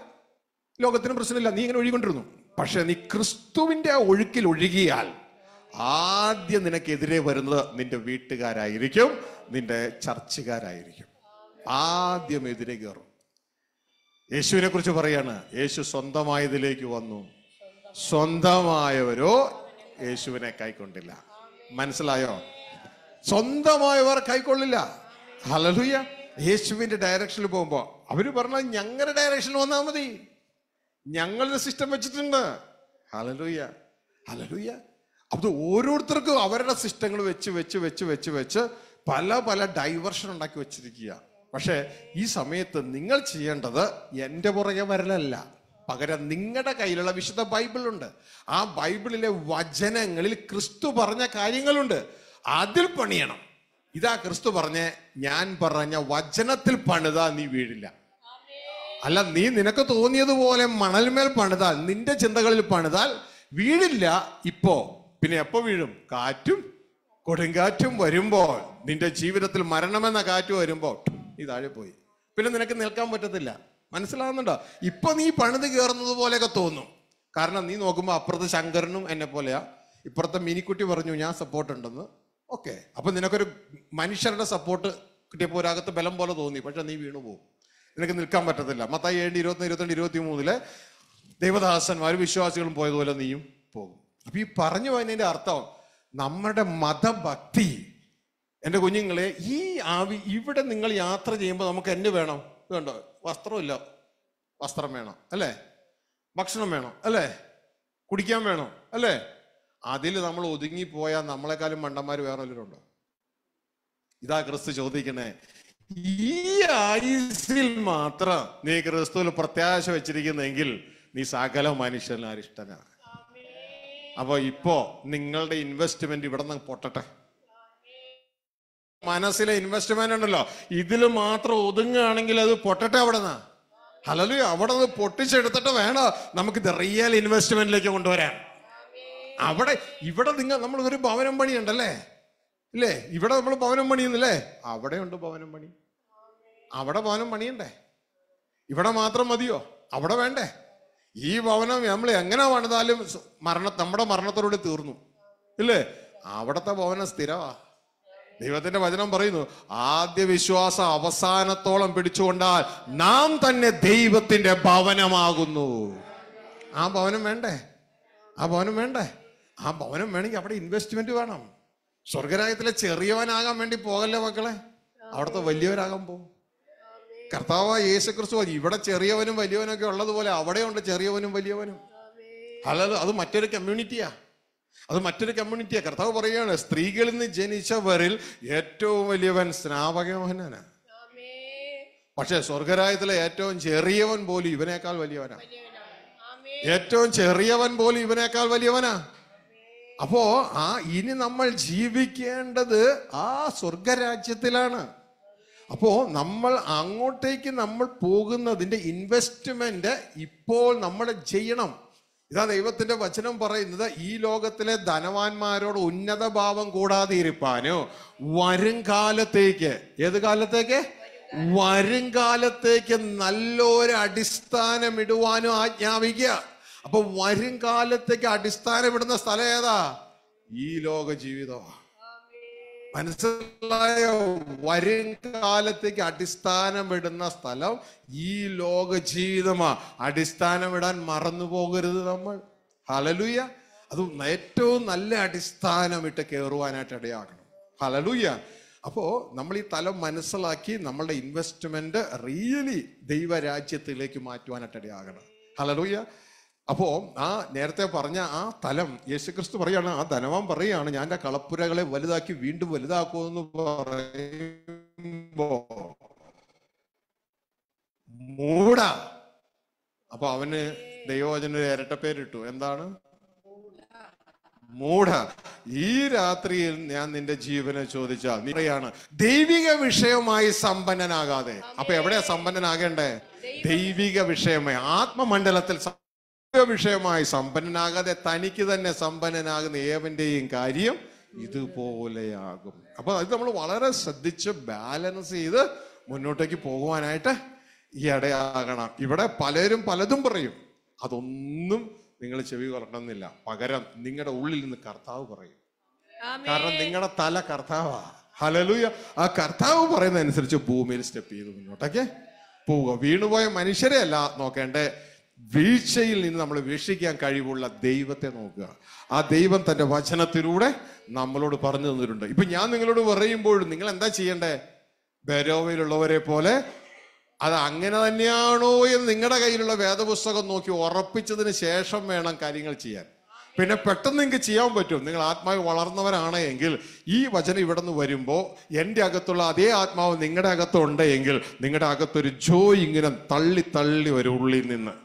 ഹലലൂയ അങ്ങനെ ഒരു ജോയ് തള്ളി തള്ളി വരുമ്പോൾ അതിന്റെ അർത്ഥം എന്ന് പറഞ്ഞത് ദൈവം സൈൻ ചെയ്യുകയാണ് ഇതിന്റെ ഉള്ളിൽ ഹലലൂയ സൈൻ ചെയ്യുക നിങ്ങളുടെ ഉള്ളിൽ ഇതുകൊണ്ടാണ് കർത്താവ് യേശു ക്രിസ്തു ഇതാ എമോവേഴ്സിലേക്ക് പോകുന്ന ശിഷ്യന്മാരോട് സംസാരിക്കുന്ന സമയത്ത് അവർ പറയുന്നുണ്ട് അവർക്ക് ആദ്യം മനസ്സിലായില്ല അവൻ നമ്മളോട് സംസാരിച്ചപ്പോൾ നമ്മുടെ അകത്ത് കത്തിക്കൊണ്ടിരുന്നില്ല എന്ന്. അകത്തൊരു മാറ്റം സംഭവിക്കുക. ഈ ഒരു തിരിച്ചറിവ് പ്രിയ കുഞ്ഞുങ്ങളെ നിങ്ങളുടെ അകത്തുണ്ട് എങ്കിൽ നിങ്ങൾ ആത്മാവിൽ വളരാൻ തുടങ്ങിയവർ തന്നെയാണ് ഹലലൂയ അപ്പോ പ്രിയ സഹോദരങ്ങളെ തിരിച്ചറിയ നമ്മുടെ ലക്ഷ്യത്തിലേക്ക് നമ്മൾ യാത്രയാവുക ഹലലൂയ അപ്പോൾ എല്ലാം ഇത് പ്ലാൻ ദൈവം എങ്ങനെ പ്ലാൻ ചെയ്തോ അതേപോലെ നാം ചെയ്യാനായിട്ട് ഇടയാകണം. അപ്പോൾ നമ്മൾ ഇത്രയും നേരം കേട്ട സംഭവം എന്ന് പറയുന്നത് സമയം പോയത് അറിഞ്ഞില്ല കേട്ടോ. ഞാൻ നോക്കുമ്പോൾ പണി ഒന്നേ അഞ്ച്. ഹലലൂയ ശ്രദ്ധിച്ചേ ഇത്രയും നേരം നമ്മൾ കേട്ട സംഭവം എന്ന് പറയുന്നത് നമ്മളുടെ യാത്ര സ്വർഗീയ പിതാവിന്റെ അടുക്കലേക്കാണ് നമുക്ക് യാത്ര ചെയ്യാൻ തന്നിരിക്കുന്ന മാർഗം ക്രിസ്തുവാണ്. നമ്മൾ കാറ്റഗറി മാറുകയാണ്. ഹലലുയ മരണമുള്ള ആദത്തിന്റെ കാറ്റഗറിയിൽ നിന്ന് മരണമില്ലാത്ത ക്രിസ്തുവിന്റെ കാറ്റഗറിയിലേക്ക് മാറുകയാണ്. യേശുവിന്റെ ഭാഷ പറഞ്ഞാൽ കാരമില്ലാത്ത ഉപ്പ് മാറി കാരമുള്ള ഉപ്പായി മാറ്റപ്പെടുകയാണ്. ഹലലുയ അങ്ങനെ ഈ ലോകത്തിന് രുചി കൊടുക്കുന്നവരായി നമ്മൾ മാറുകയാണ്. ഹലലുയ ലോകത്തിന് രുചി കൊടുക്കുന്നവരായി ഉപ്പില്ലല്ലോ. അല്ലേ? ഇതേപോലെ ഈ ലോകത്തിന് രുചി കൊടുക്കുന്നവരായി. നിങ്ങൾ വാ തുറക്കുമ്പോൾ തന്നെ ഇതാ ഇതിന് താല്പര്യമുള്ളവർക്ക് ഭയങ്കര സന്തോഷമാണ്. ഹലലൂയ കാരണം അവർ ആഗ്രഹിച്ചിരുന്ന സാധനം ഈ വരുന്നേ. മനസ്സിലാകുന്നുണ്ടോ അവരുടെ അപ്പനും അമ്മയുമായ സ്വർഗസ്ഥ പിതാവ് ക്രിസ്തുവിലൂടെ അവർക്ക് തരുന്ന ഫുഡാണ് ഈ വരുന്നത് അത് വരുന്നത് വലിയ താല്പര്യമായിട്ട് അവർക്ക് മാറും. കാരണം അത് വരുമ്പോൾ അവരുടെ അകത്ത് നിന്ന് ഭയങ്കര സന്തോഷം പുറത്തേക്ക് തള്ളാൻ തുടങ്ങും. ജീവൻ തള്ളാൻ തുടങ്ങും. ഹലലുയ അപ്പൊ ആ ഒരു തലത്തിലേക്ക് മാറും അപ്പൊ നമ്മളെ കാറ്റഗറി മാറ്റുകയാ ഇവിടെ ചെയ്യുന്നത് ഹലലുയ കാറ്റഗറി മാറ്റുകയാ. മനുഷ്യന്റെ കാറ്റഗറിയിൽ നിന്ന് മനുഷ്യപുത്രന്മാരുടെ കാറ്റഗറിയിൽ നിന്ന് ദൈവപുത്രന്മാരുടെ കാറ്റഗറിയിലേക്ക്. ഹലലൂയ ആദത്തിന്റെ കാറ്റഗറിയിൽ നിന്ന് ക്രിസ്തുവിന്റെ കാറ്റഗറിയിലേക്ക്. ദൈ മനുഷ്യന്റെ കാറ്റഗറിയിൽ നിന്ന് ദൈവത്തിന്റെ കാറ്റഗറിയിലേക്ക്. കാൺമീൻ എത്ര വലിയ സ്നേഹം ദൈവം നമുക്ക് നൽകിയിരിക്കുന്നു. നാം ആരെന്ന് വിളിക്കപ്പെടാൻ? മനുഷ്യമക്കളല്ല ദൈവ മക്കളെന്ന് വിളിക്കപ്പെടാൻ. എന്നിട്ട് പറയുകയാണ് ആർക്കെങ്കിലും സംശയം ഉണ്ടെങ്കിൽ നാം അങ്ങനെയാണ് താനും. കാരണം നമ്മുടെ സെലക്ഷനിൽ ലോക സ്ഥാപനത്തിന് മുമ്പ് നമ്മുടെ സെലക്ഷനിൽ നാം ദൈവ മക്കളാണ് മനസ്സിലാവുന്നുണ്ടോ? ക്രിസ്തുവിലാണ് നമ്മുടെ സെലക്ഷൻ. ഇതൊക്കെ അടുത്ത സെക്ഷനിൽ നമുക്ക് കൂടുതലായിട്ട് ചിന്തിക്കുക ക്രിസ്തുവിലാണ് നമ്മുടെ സെലക്ഷൻ. ഹലലൂയ ക്രിസ്തുവിന്റെ സഹോദരന്മാരായിട്ടാണ് നമ്മുടെ മുൻ നിയമനം. ഹലലൂയ എന്നാൽ നമ്മൾ നഷ്ടപ്പെട്ടു പോകുമെന്ന് അറിഞ്ഞ സ്വർഗത്തിലെ ദൈവം നമ്മൾ ഭൂമിയിൽ ഇൻഷുറൻസ് പരിപാടി ചെയ്യുന്നത് പോലെ സ്വർഗത്തിലെ ദൈവം ക്രിസ്തുവിൽ നമ്മളെ തിരിച്ച് സെറ്റ് ചെയ്ത് കഴിഞ്ഞു. ഹലലൂയ അതുകൊണ്ട് ഈ കാര്യം തിരിച്ചറിഞ്ഞു കഴിഞ്ഞാൽ ഇനി ഇവിടെ അധികം നിൽക്കണ്ട. നമുക്ക് വീട്ടിൽ പോകാം ഇനി ഇവിടെ അധികം നിൽക്കണ്ട ഈ മനുഷ്യ ലോകത്ത് നമ്മളെ നിലത്തിട്ട് ചവിട്ടുന്ന ലോകത്ത് അധികം നിൽക്കണ്ട. ഇത് പുറകിലുള്ളത് വിട്ടുകളഞ്ഞിട്ട് മുൻപിലുള്ളതിനെ ലക്ഷ്യമാക്കി ക്രിസ്തയേശുവിൽ ദൈവത്തിന്റെ പരമവലിയുടെ വിരുദിനായി ലാക്കിലേക്ക് ഓടാം. ആരെ പോലെ? ആ പല്ലിയെ പോലെ. പല്ലി എന്താ ചെയ്യണേ? പല്ലി ഇതാ വാൽ നീ എടുത്തോ എന്ന് പറഞ്ഞുകൊണ്ട് പല്ലിയെ പൂച്ച ഓടിച്ചിടുകയാ. പല്ലി എന്താ ചെയ്യണേ? പല്ലി പറയുകയാണ് ഇതാ വാൽ നീ എടുത്തോ എന്ന് പറഞ്ഞ് വാൽ മുറിച്ചിട്ട് കൊടുത്തിട്ട് ജീവനും കൊണ്ട് താൻ പോവുകയാ. ഇതേപോലെ ക്രിസ്തു നമുക്ക് വെച്ചിരിക്കുന്ന ജീവൻ അത് നമുക്ക് സ്വീകരിച്ചുകൊണ്ട് നമ്മുടെ അപ്പന്റെ അടുക്കലേക്ക് നമുക്ക് പോകാം. പിൻപിലുള്ളതിനെ വിട്ട് വാൽ വിട്ട് പിൻപിലുള്ളതിനെ വിട്ട് മുൻപിലുള്ള ലക്ഷ്യമാക്കി പോകാം. അലലുയ ഈ യാത്രയിൽ പോകാൻ പറ്റൂ. അലലി വാലും കൊണ്ടേ ഞാൻ പോവുള്ളെന്ന് പറഞ്ഞാൽ അവസാനം പുറകിലുള്ളത് നിന്നെയും കൊണ്ട് എന്നെയും കൊണ്ടും പോകും. അല്ലെങ്കിൽ കുറെ വിട്ട് വിട്ട് വിട്ട് വിട്ട് വിട്ട് വേണം യാത്രയാകാൻ. ഹലലൂയ ഈ യാത്രയെക്കുറിച്ച് കൂടുതലായിട്ട് അറിയാൻ താല്പര്യമുള്ളവർ നമ്മുടെ പുസ്തകങ്ങൾ ഇവിടെ കാണും. അതിൽ എന്നെ കർത്താവ് യാത്ര ചെയ്യിപ്പിച്ച രേഖകൾ അതിലുണ്ട്. ഹലലൂയ പലതും വിട്ട് യാത്രയാകേണ്ടതായിട്ട് വരും. വിടുമ്പോൾ വേദന ഉണ്ടാകും. ആ പല്ലി പുറകു മുറിച്ച് കളയുമ്പോൾ അതിന് വേദനയൊക്കെ ഉണ്ടാകും. പക്ഷെ ആ വേദന ഒരനുഗ്രഹമാണ്. ആ വേദന ഒരനുഗ്രഹം അങ്ങനെ വേദനയിലൂടെയാണ് ഈ സോൾട്ട് ഇല്ലാത്ത ഈ സാധനത്തിന് സോൾട്ട് ഉണ്ടാക്കിയെടുക്കണേ? മനസ്സിലായോ? തീയിലൂടെ വേണം ഉപ്പിടാൻ. ഉപ്പ് തിരികെ കൊണ്ടുവരുന്ന തീയിലൂടെയാണ്. അപ്പൊ തീയിലൂടെ ഉപ്പിടാൻ നേരത്ത് അയ്യോ എനിക്ക് പറ്റത്തില്ല എനിക്ക് പറ്റത്തില്ല എന്ന് ബഹളമൊന്നും ഉണ്ടാക്കരുത്. ദൈവം നിന്നെ ഉപ്പുള്ളവനാക്കുക. മനസ്സിലായോ? ഉപ്പുള്ളവൻ ആക്കുക. ഇതുകൊണ്ടാണ് ദൈവത്തിന്റെ വചനം പറയുന്നത്. ദൈവേഷ്ടം ചെയ്ത് വാഗ്ദത്തം പ്രാപിപ്പാൻ. തീയിലൂടെ നീ കടക്കണം. നീ നന്മ ചെയ്തിട്ട് നീ കഷ്ട സഹിക്കണം. മനസ്സിലായോ? അതെ അപ്പൊ നീ "ഏ, ഞാൻ എന്നെന്തിനാ ഞാൻ നന്മയല്ലേ ചെയ്തോളൂ. എടാ നീ നന്മയെ ചെയ്തോളൂ. നിന്റെ അപ്പന് ഇത് ഇഷ്ടമാണ് എന്താ കാര്യം? നിന്റെ അകത്ത് സോൾട്ട് ഉണ്ടാക്കി എടുക്കുക നിന്റെ അകത്ത് സോൾട്ട് ഉണ്ടാക്കി എടുക്കുക നീ ചെയ്തത് നല്ലതാ. പക്ഷെ അവർ നിന്നെ കുറ്റം പറഞ്ഞു. നീ അതിന് പ്രശ്ന പ്രശ്നമൊന്നും ഉണ്ടാക്കണ്ട. ദൈവത്തിന് നന്ദി പറ. ദൈവം നിന്റെ ഉള്ളിൽ സോൾട്ട് ഉണ്ടാക്കി എടുക്കുക ഞാൻ നല്ലതല്ലേ ചെയ്തത്? പിന്നെ എന്റെ ആ ഭർത്താവ് കറിപ്പാത്രം എടുത്ത് എന്റെ മുഖത്തിട്ട് എറിഞ്ഞ എന്തിനാ? എടി ദൈവം നിനക്ക് സോൾട്ട് ഉണ്ടാക്കി തരുവാണെന്നേ. നീ അതുകൊണ്ട് വിഷമിക്കല്ലേ? സോൾട്ട് ഉണ്ടാക്കി തരുക. അവിടെ നീ ഇടറുകയല്ല വേണ്ടത്. ദൈവത്തിന് നന്ദി പറയുക വേണ്ടത്. യുവചനം പറയുന്നു അതിനായിട്ടല്ലോ നിങ്ങളെ വിളിച്ചിരിക്കുന്നത്. നിങ്ങൾ നന്മ ചെയ്തിട്ട് കഷ്ടസഹിപ്പാൻ ദൈവം നിങ്ങളെ വിളിച്ചിരിക്കുന്നു. അപ്പൊ ദൈവം എന്താ ചെയ്യുന്നത് സോൾട്ട് ഇല്ലാത്ത ഉപ്പില്ലാത്ത നിന്റെ ഉള്ളിൽ ഉപ്പ് രസം കാരം ഉണ്ടാക്കി തരികയാണ് അതിലൂടെ ചെയ്യേണ്ടത്. Hallelujah hallelujah every one will be salted by the fire hallelujah തീയിലൂടെ ഈ സോൾട്ട് അവൻ ഉള്ളിൽ ദൈവം ഉണ്ടാക്കി കൊടുക്കും. സോൾട്ടിനെസ് ഉണ്ടാക്കി കൊടുക്കും. കാരം അവന്റെ ഉള്ളിൽ ഉണ്ടാക്കി കൊടുക്കും. മനസ്സിലായില്ല എന്ന് എനിക്ക് മനസ്സിലായി. അടുത്ത സെക്ഷനിൽ കൂടുതലായിട്ട് ദൈവം അനുവദിക്കുന്നതിൽ നമുക്ക് ഇതിനെക്കുറിച്ച് ചിന്തിക്കാം. അടുത്ത സെക്ഷൻ ദൈവം അനുവദിക്കും കുറച്ച് നേരത്തെ നിർത്തണമെന്ന് ആഗ്രഹിക്കുന്നു. നിങ്ങൾക്ക് ആർക്കൊക്കെയോ എന്തൊക്കെയോ പറയാനോ ഒക്കെ ഉണ്ട് എന്നൊക്കെ കേട്ടു. ഹലലൂയ അപ്പോൾ അഞ്ചു മണിക്കാണ് സാധാരണ സെക്ഷൻ നിർത്തുന്നത്. അപ്പോൾ ഒരു നാലരക്കെങ്കിലും നിർത്തിയാലേ കാര്യങ്ങൾ നടക്കുകയുള്ളൂ എന്ന് ചിന്തിക്കുകയാണ്. നമുക്ക് ദൈവസന്നിധിയിൽ എഴുതേക്കാം. കേട്ട വചനത്തിന്റെ മുമ്പാകെ ദൈവസന്നിധിയിൽ നമുക്ക് എഴുതേക്കാം. ഓ father we thank you we give you glory hallelujah we thank you അപ്പാ we thank you heavenly father we thank you ചാരത്തൊക്കെ ആയിരിക്കുന്ന വ്യക്തിത്വങ്ങൾ.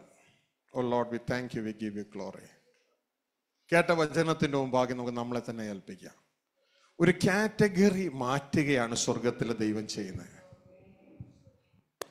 കാരമില്ലാത്ത ആദത്തിന്റെ ഹെവലിനസ് ഇല്ലാത്ത സ്വർഗീയതയില്ലാത്ത ആദത്തിന്റെ തലമുറക്കാരായ നമ്മളിൽ. നമ്മളിലേക്ക് സ്വർഗീയത തന്ന ക്രിസ്തുവിന്റെ തലമുറക്കാരായി നമ്മളെ മാറ്റുന്നു. നിലത്തിട്ട് ചവിട്ടപ്പെടേണ്ട മനുഷ്യനെ ഉയർത്തെഴുന്നേൽക്കുന്ന ദൈവപുത്രന്മാരാക്കി മാറ്റുന്നു. നമ്മുടെ ലക്ഷ്യത്തിലേക്ക് സ്വർഗത്തിലെ ദൈവം നമ്മളെ കൊണ്ടുപോവുകയാണ്. ലക്ഷ്യത്തിലേക്ക് നമ്മളെ കൊണ്ടുപോകുന്നു ഇതൊരു മതമല്ല. ഇതൊരു സംഘടനയോ ഗ്രൂപ്പോ അല്ല. ഇത് ക്രിസ്തുവിൽ ദൈവ കുടുംബമാണ് ഇത് കണ്ടെത്തുന്ന ഒരു ചുരുക്കം.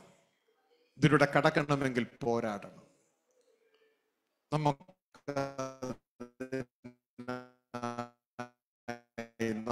നമ്മളെ തന്നെ ദൈവകരങ്ങളിലേക്ക് സമർപ്പിക്കാം. കേട്ട വചനത്തിന്റെ മുമ്പിൽ സമർപ്പിക്കാം. താങ്ക് യു ഹെവലി ഫാദർ സുഖ്യ പിതാവെ സമർപ്പിക്കപ്പെട്ട ഈ മക്കൾക്കായി ഹോളിലും ശബ്ദ കാഴ്ചവരിൽ സമർപ്പിക്കപ്പെട്ട മക്കൾക്കായി സ്തോത്രം. കേട്ട വചനം അത് അങ്ങനെ തന്നെയോ മനസ്സിലാക്കി അതിൽ നിലകൊണ്ട് ഈ മക്കൾ ഓരോരുത്തരും ക്രിസ്തുവാകുന്ന തലയോളം വളരപ്പെടുവാൻ. ക്രിസ്തുവിൽ സ്വർഗീയ ലക്ഷ്യത്തിലേക്ക് എത്തിച്ചേരുവാൻ അങ്ങ് സഹായിക്കണമേ ഞങ്ങൾ കേട്ടതുപോലെ ഞങ്ങൾ കണ്ടതുപോലെ